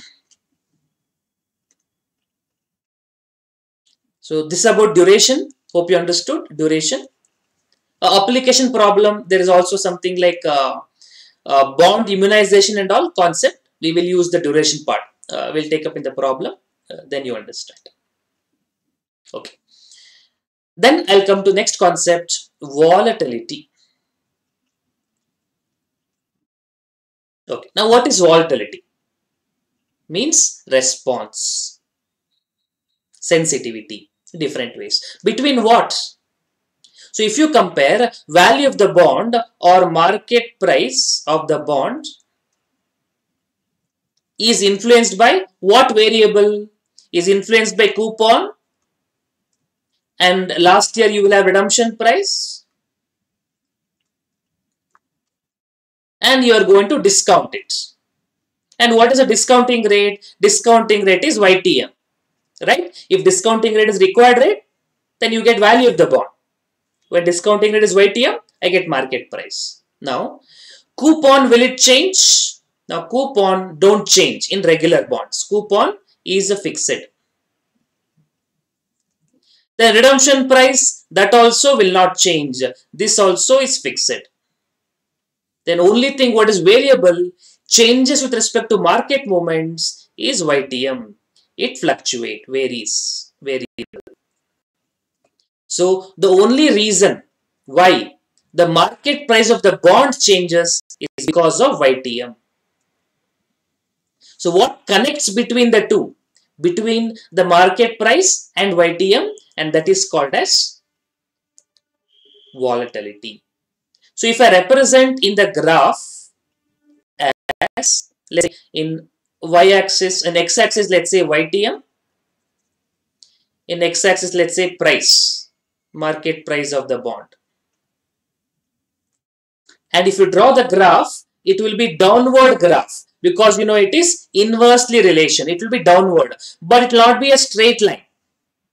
Why it's not a straight line? Because I told you 2% upside, 2% downside, the, the moments are not equal. So it is not linear relationship, it is curvilinear relationship. So as the YTM increases, market price reduce, but not in a linear manner, but in a, non-linear manner, in a curvilinear manner. It is uh, the moment sensitivity. but how do you calculate the curvilinear relationship is not so easy for which uh, we have gone for volatility is actually a measure of linear relationship. So we can say volatility is a measure of linear relationship between the price market price and yield YTM. So you draw linear relationship. That means you draw a straight line. I mean, uh, not sure whether I can draw. My hands are shivering. But please draw straight line. Don't draw like this. Okay, don't think. Yeah. This line is what is volatility is all about. Measure of linear relationship. But why are we writing linear? Isn't that linear and non-linear different? Don't worry. If I draw a line like this, you understand it is a curve. I mean, it's a non-linear. If I draw like this, it's a linear, big one. But if I write small one, suppose this one, does it look like linear or does it look like non-linear? When it's the moment is small, you don't really worry about whether linear or non-linear. So when the movement is small, both relationship coincide. You can see here from point A to point B if I look at the moment is small. The linear non-linear is very close. But if I look at point A to point C, the linear is different, non-linear is different. The line curve, there is a gap. So we just say that when movement is small,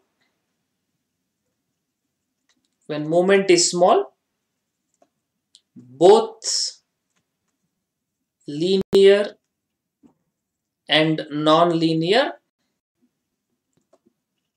gives approximately same answer. Gives approximate or approximate you can say. Both linear and non-linear are approximate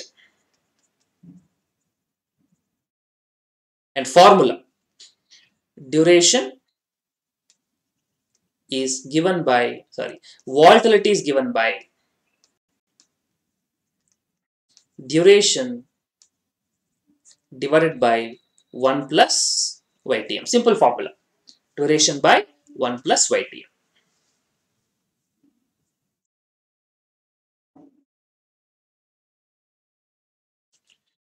So if I tell you volatility is suppose 3, what does it mean? If YTM changes by 1%, the market price changes by 3%. The price and volatility, you see what connects between the bond and YTM. It's a measure of linear relationship between price and yield. So if yield changes by 1%, the market price likely to change by 3% approximately, not accurately because this is measure of linear relationship. Is also called as uh, first derivative. Because if you treat like equation differentiation you may not know it but it's also called as first derivative. If you treat in a differentiation this volatility is also called as first derivative. So volatility is duration by 1 plus YTM so higher the volatility higher the sensitivity. If volatility is high, that means the bond moves faster. Because if volatility is 3, 1% change, 3% movement in the price. If volatility is 2, 1% change, 2% in the market price. So basically, higher volatility means higher movement, higher risk. Of course, related to interest rate.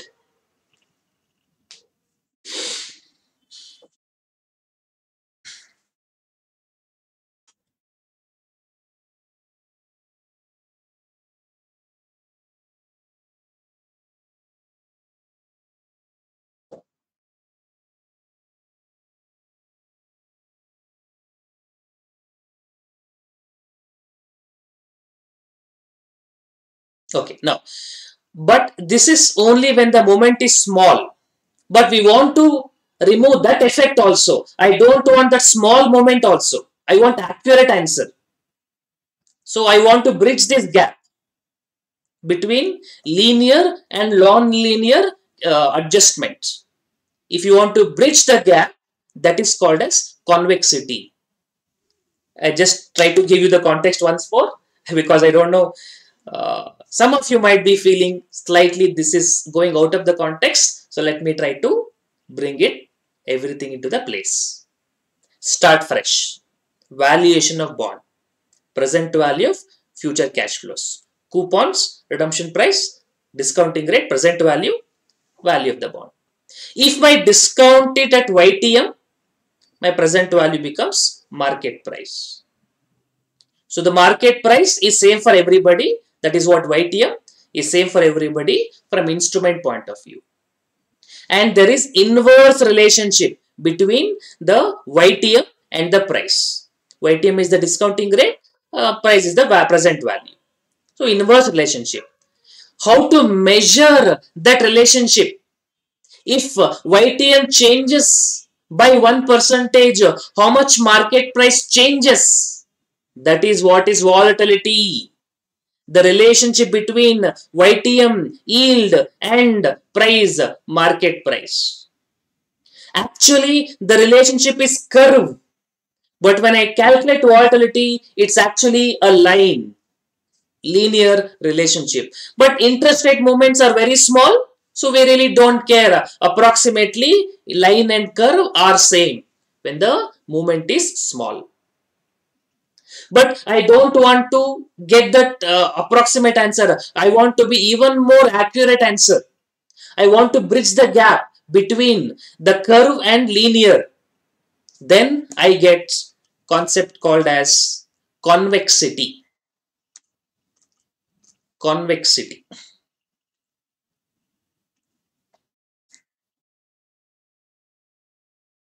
So it is a measure of uh, it's a second derivative. It is changing the linear relationship. It is second derivative. It is changing the change.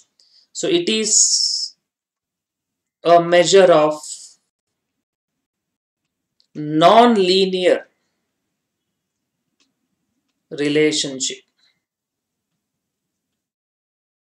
So we can say it is a second derivative. Second derivative in the function.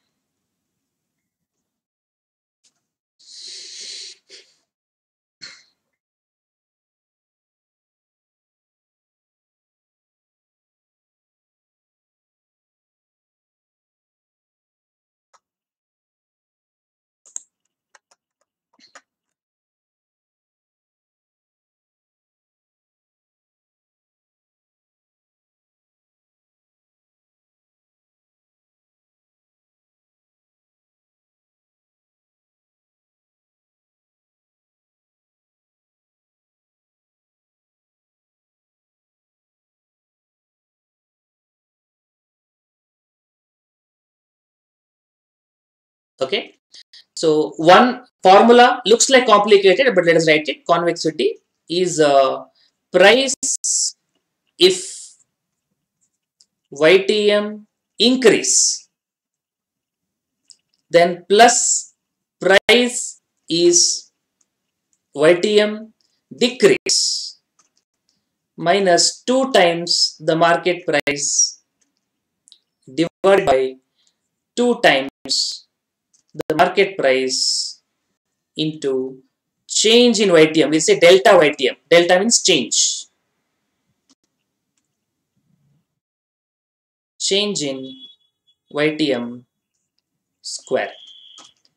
So price if YTM increase, price if YTM decrease, minus 2 times market price divided by 2 into market price into change in YTM square is convexity and uh, if you want to adjust the linear to non-linear, we call it as convexity adjustment. Convexity adjustment. That is, if you want to adjust the linear to non-linear, that is C into delta YTM. Delta means change. How much? 1% or 2% like that. change in YTM square.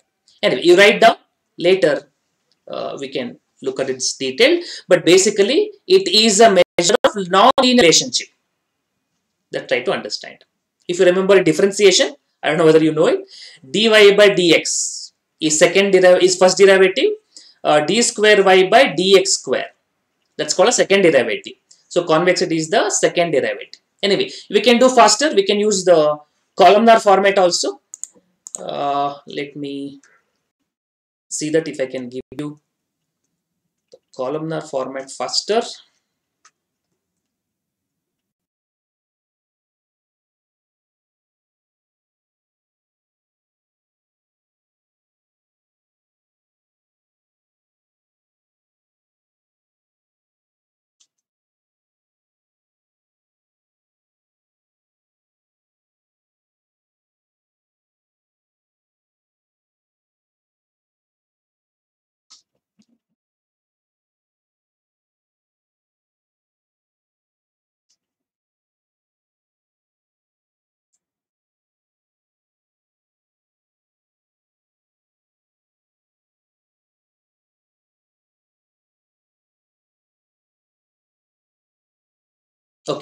So if uh, remember what column we used to do in uh, uh, the dur duration calculation, we used to have year that I used to call it as X column, then uh, cash flow, discounting factor at YTM, then we used to have discounted cash flow that I used to do as W and then we used to do X into W. Remember I discussed for duration.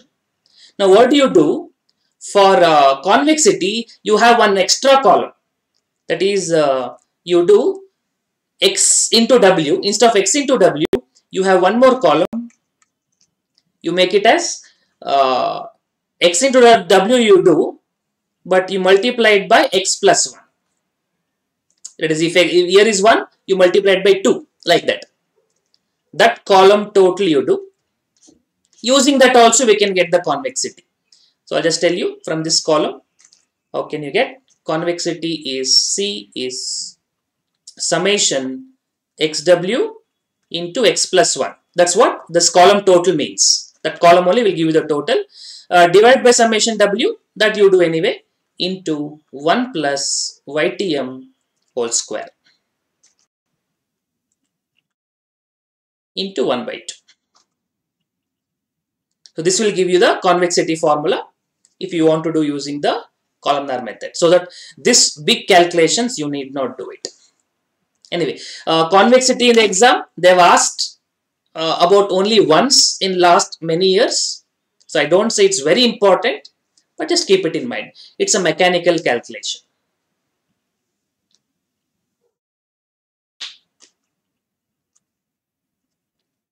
So uh, what and all we have discussed so far? Value of the bond that is intrinsic value of the bond, YTM calculation, duration, volatility, convexity.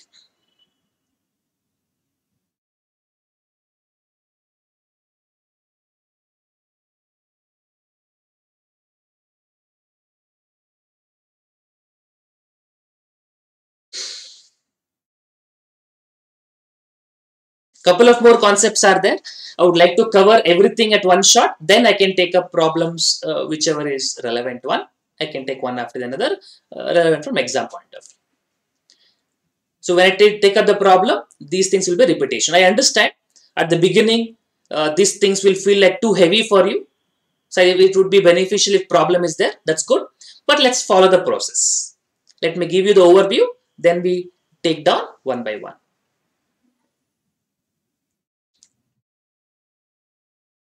Okay? So then i'll go for the next concept. Hope you have taken down this one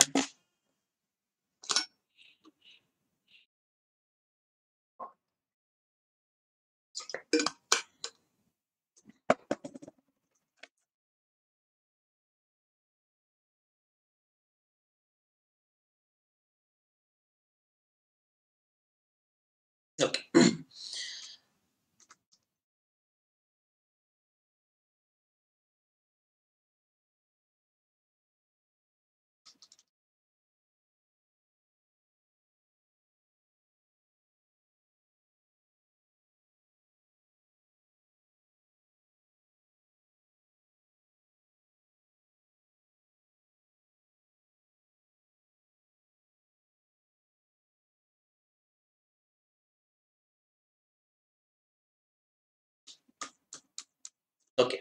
So next concept we have is uh, yield curve.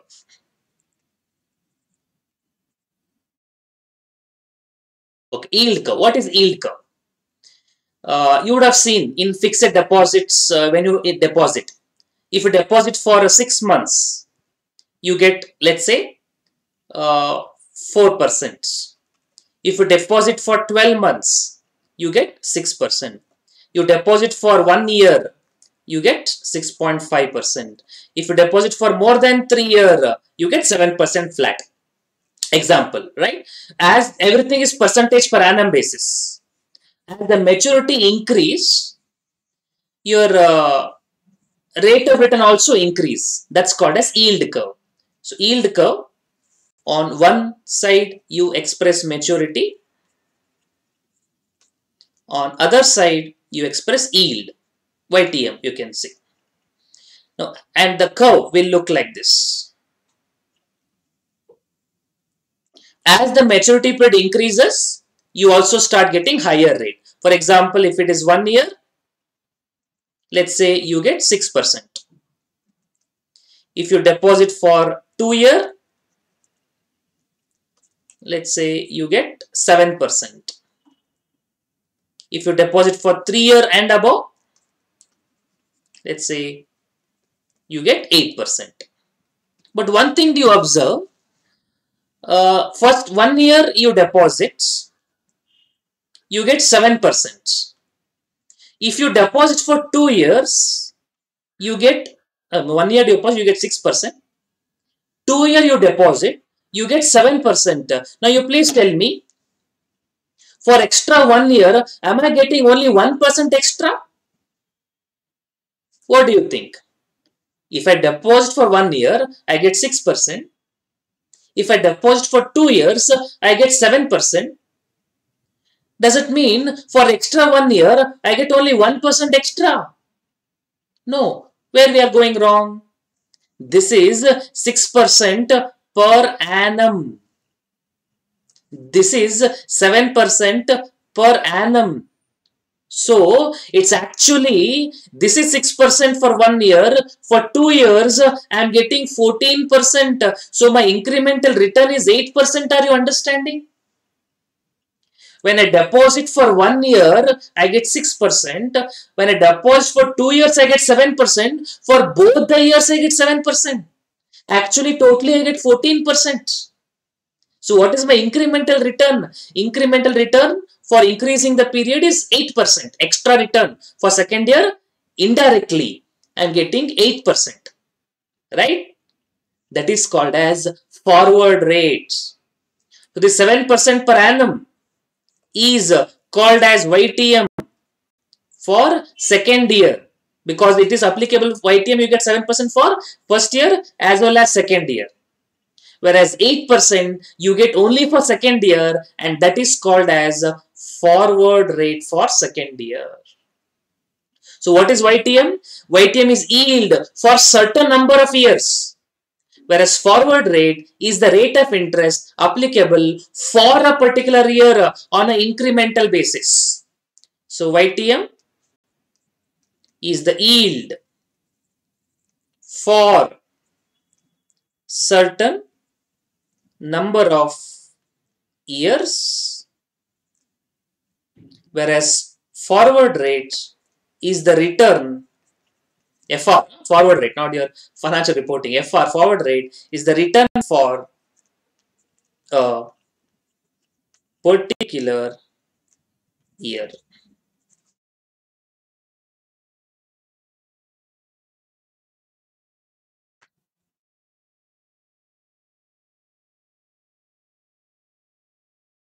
So yield curve, as the maturity increase, your average yield increases. You can say yield curve is like an average. Whereas forward rate is the rate applicable for a particular year on an incremental basis. On a incremental basis.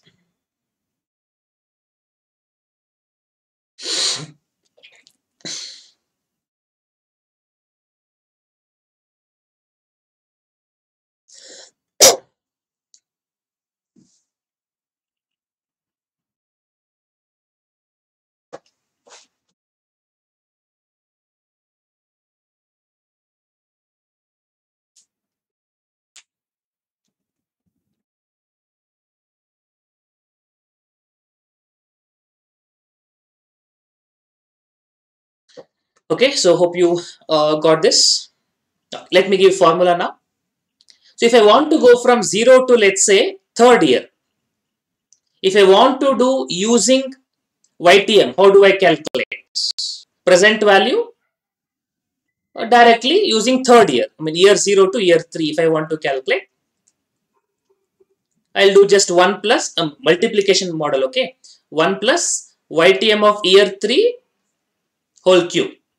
That is one straight method. That is using yield, using YTM. But if I want to go using forward rates, what do I do? I'll do like this uh, 1 plus forward rate of year 1. I moved to year 1. 1 plus forward rate of year 2, I moved to year 2. 1 plus forward rate of year 3, I moved to year 3. So, one year at a time. Every year forward rate can change. One year at a time is forward rate. For all the three years put together is YTM of year 3. So, in general, we can write like this. 1 plus forward rate of year 1 is equal to 1 plus YTM of year 1. Why am I writing every time 1 plus 1 plus? We follow multiplicative model. Every time I move from year 1 to year 2, I don't do year 1 plus year 2. Multiplicative model, year 1 plus R1, then 1 plus R2. I do 1 year at a time. So only first year forward rate is 1 year YTM. Or in other words, you can say forward rate of year 1 is YTM of year 1. If I increase by one more year, 1 plus forward rate of first year into 1 plus forward rate of second year. So, 1 year, 1 year, I move to second year. So, I can use uh, 1 plus YTM of second year whole square. Second year YTM based on uh, first year and second year. You can say average rate based on first and second. Third year means 1 plus FR1, 1 plus FR2 and 1 plus FR3, 3 year. So together I can write 1 plus YTM of year 3 whole cube. If I write 4 years, 1 plus FR1 first year, 1 plus FR2 second year, 1 plus FR3 third year, 1 plus FR4 fourth year, then what I can write? 4 years are there. So 4 year YTM I can directly write 1 plus YTM of year 4 whole to the power of 4. So this is what is the yield curve, YTM and the forward rates is all about. You can make a note of this.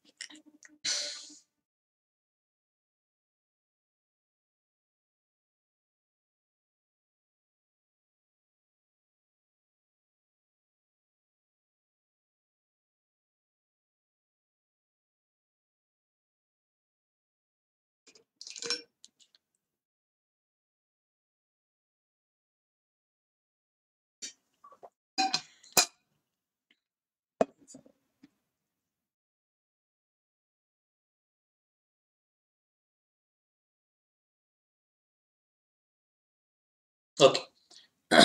Next concept. Convertible bonds.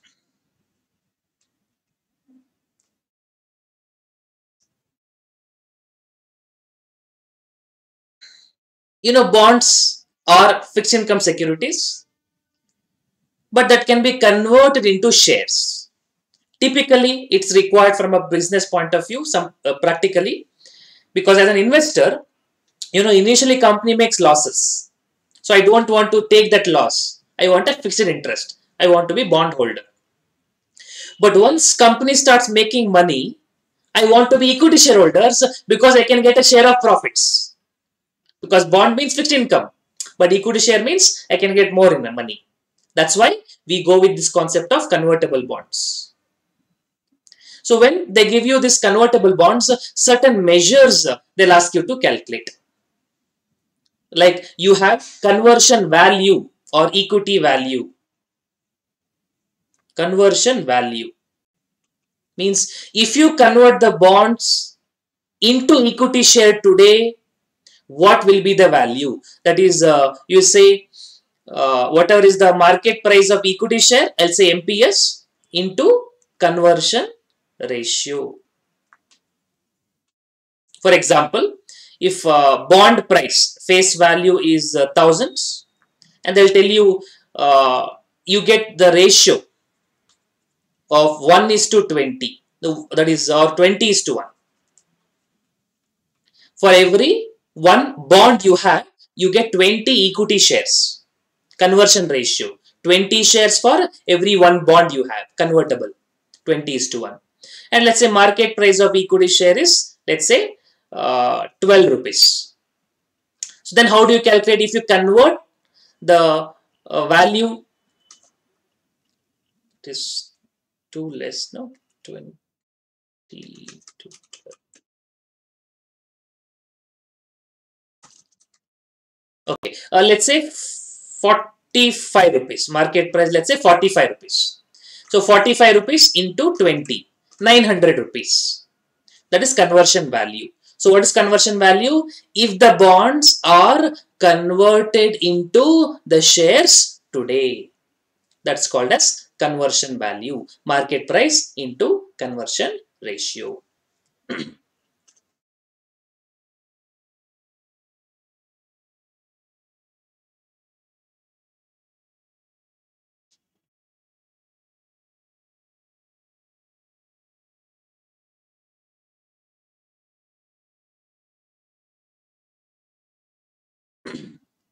Okay.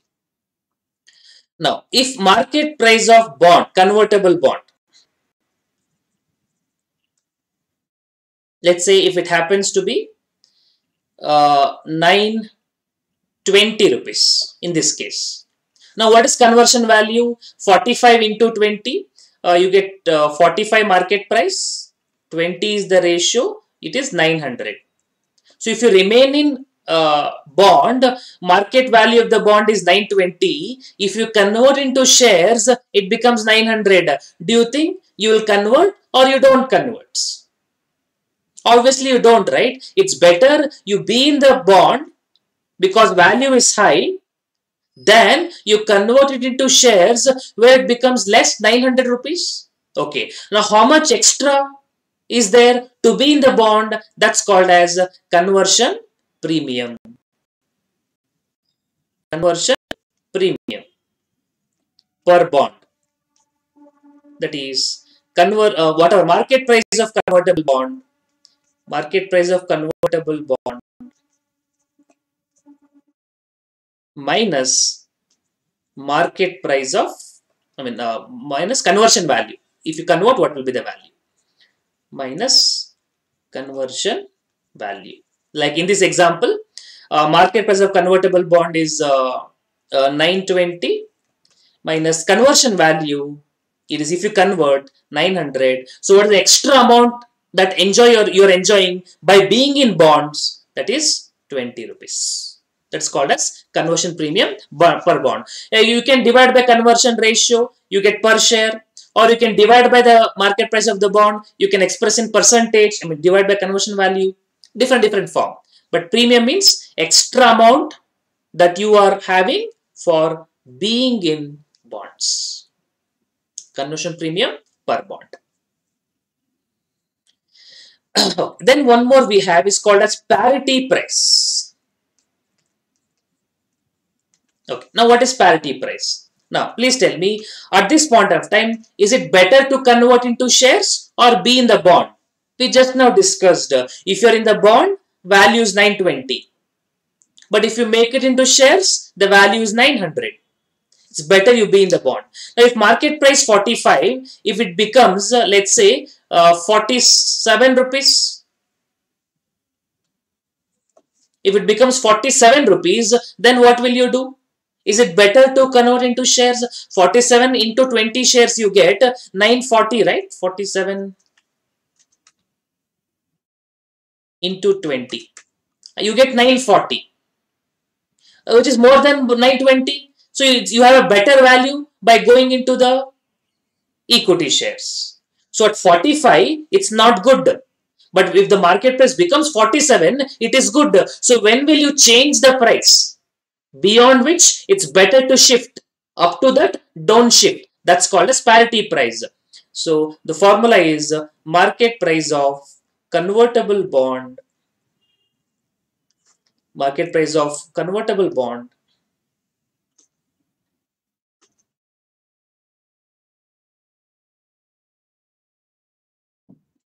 Divided by mark uh, divided by conversion ratio. So in this example a convertible bond is 920 divided by ratio is 20 so you'll get 46 rupees so if the market price of the share, parity price, 46 equal, indifferent. If it goes beyond 46, then converting it's better. Below 46, converting it not better. That is parity price. Then one last one is called as downside risk. This is given by uh, the market price of convertible bond minus straight value of the bond. Divided by straight value into 100. Uh, what is the downside risk? In the sense you are having convertible bonds.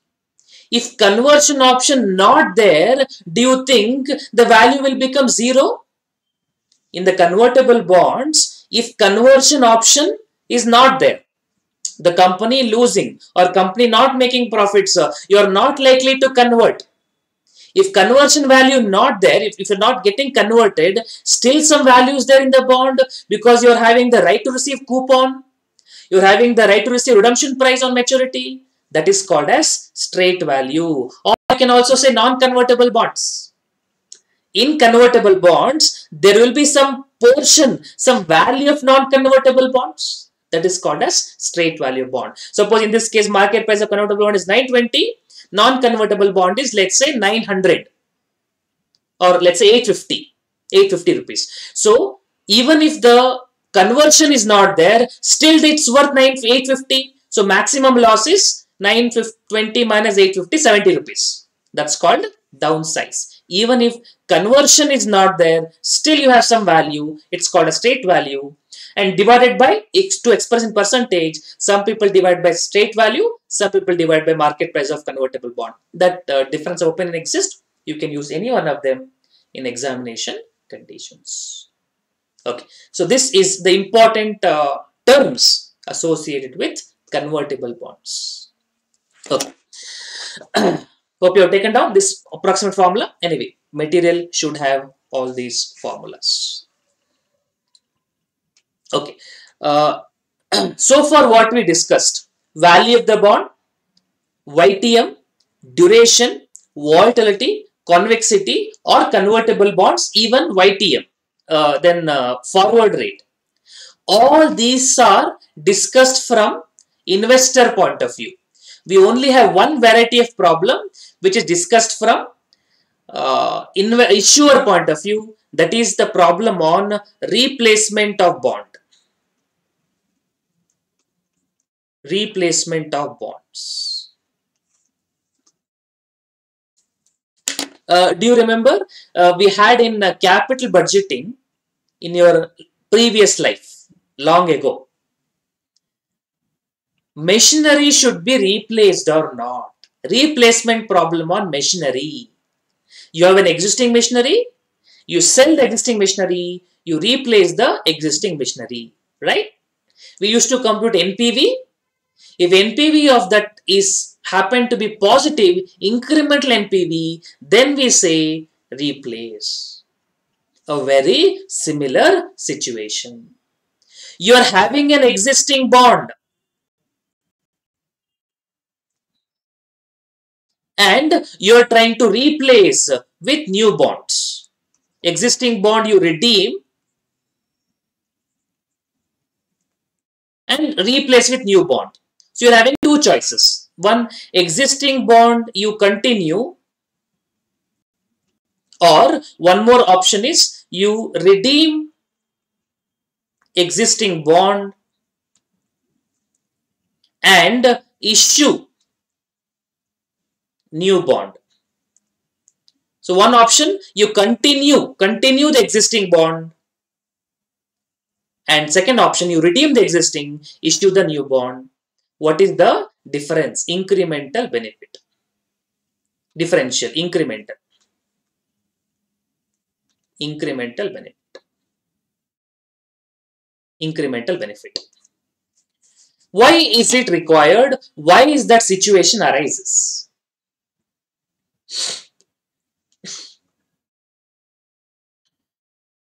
Because of the practical scenario market factors what is happening now? Suppose you have issued uh, 15 years back 20 year maturity. 15 years back 20 year maturity and 15 years back what is the rate of interest prevailing then? Think from issuer point of view maybe even 12 percent 15 years over 5 years pending Still, you have to pay 12% only because committed, it is fixed. But now if you look at outside, everybody is paying less interest because now in the market, interest rates have come down, but you can't do anything. You are having stomach burning, everybody is paying less interest. I have issued this bond long time back. It's like mobile phone, no? You have purchased the mobile phone long time back, Nokia 1100. If you're using still today, you will not be using it. If it's using still today, what do you do? Everybody else using smartphone, but I'm I purchased long time back. So what do you do? This existing one, let me take it off and new one I will buy. That's what here also we are doing. Existing bond, you pay it off, redeem it.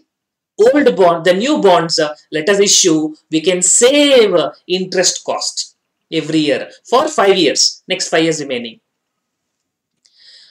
So those 5 years, not only you get benefit, it will have some cost also.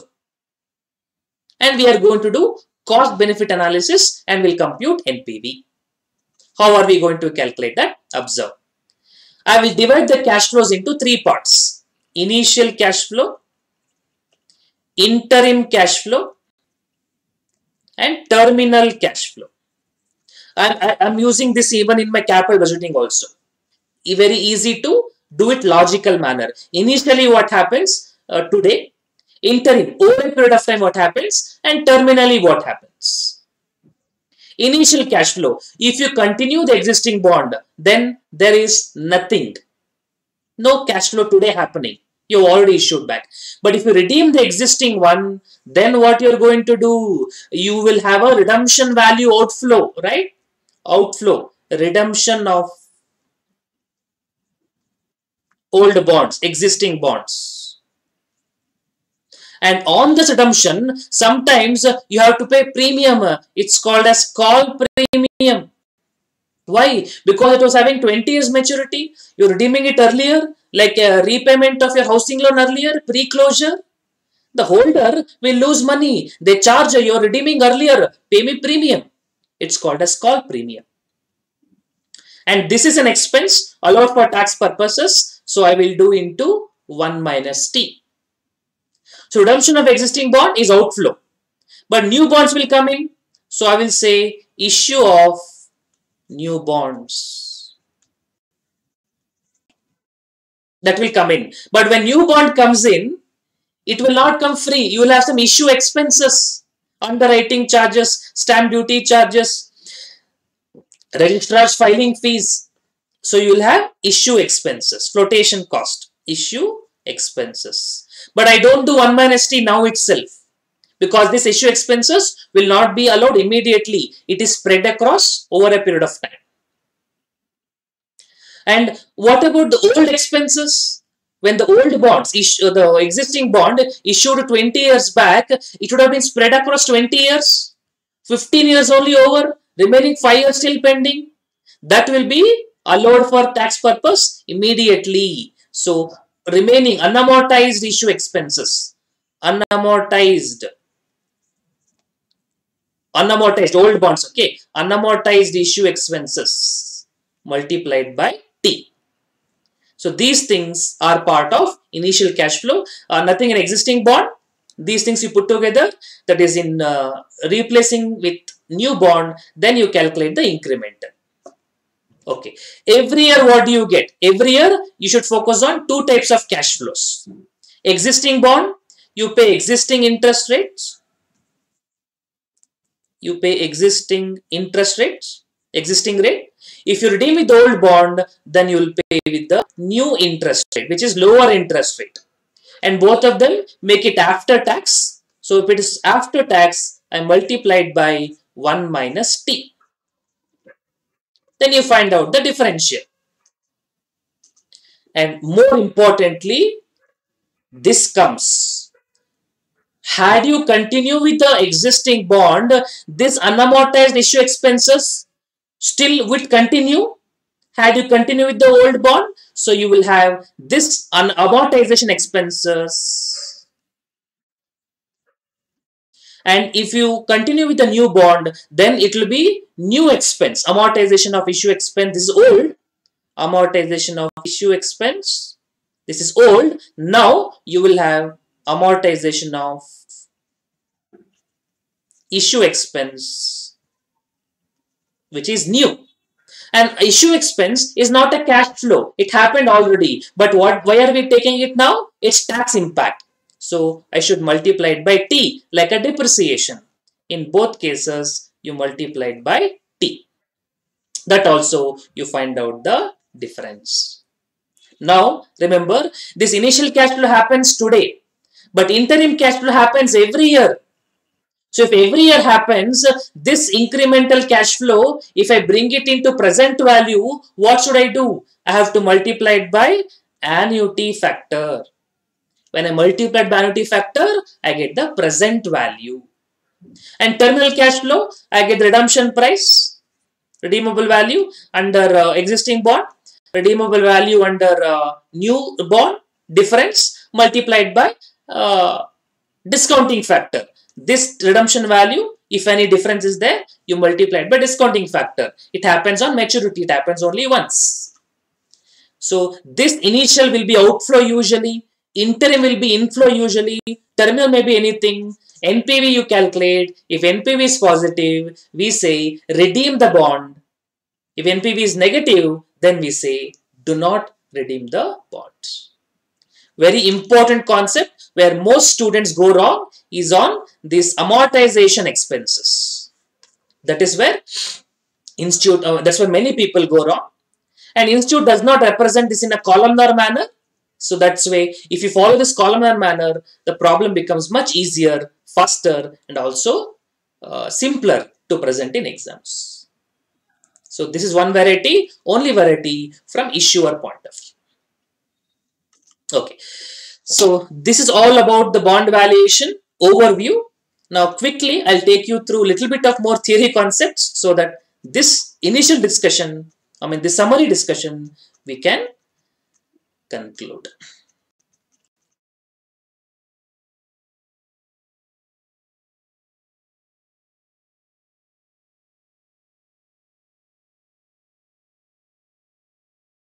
Okay.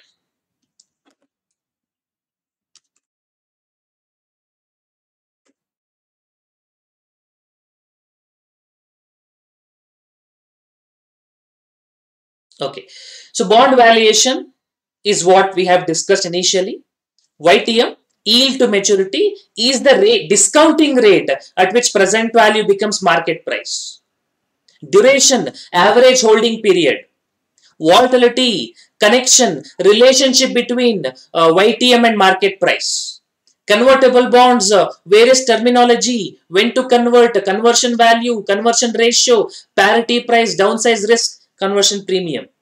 Yield curve, yield is average rate applicable for certain number of years. Forward rate is the rate applicable for a particular year.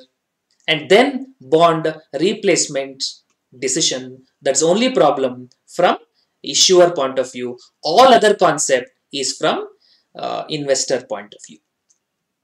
A topic wise allocation, it is there in the material. You can go through it.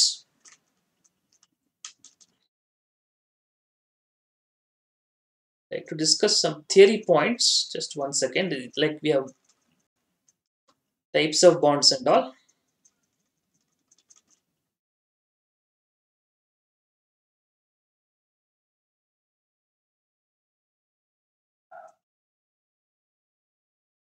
Just give me one minute.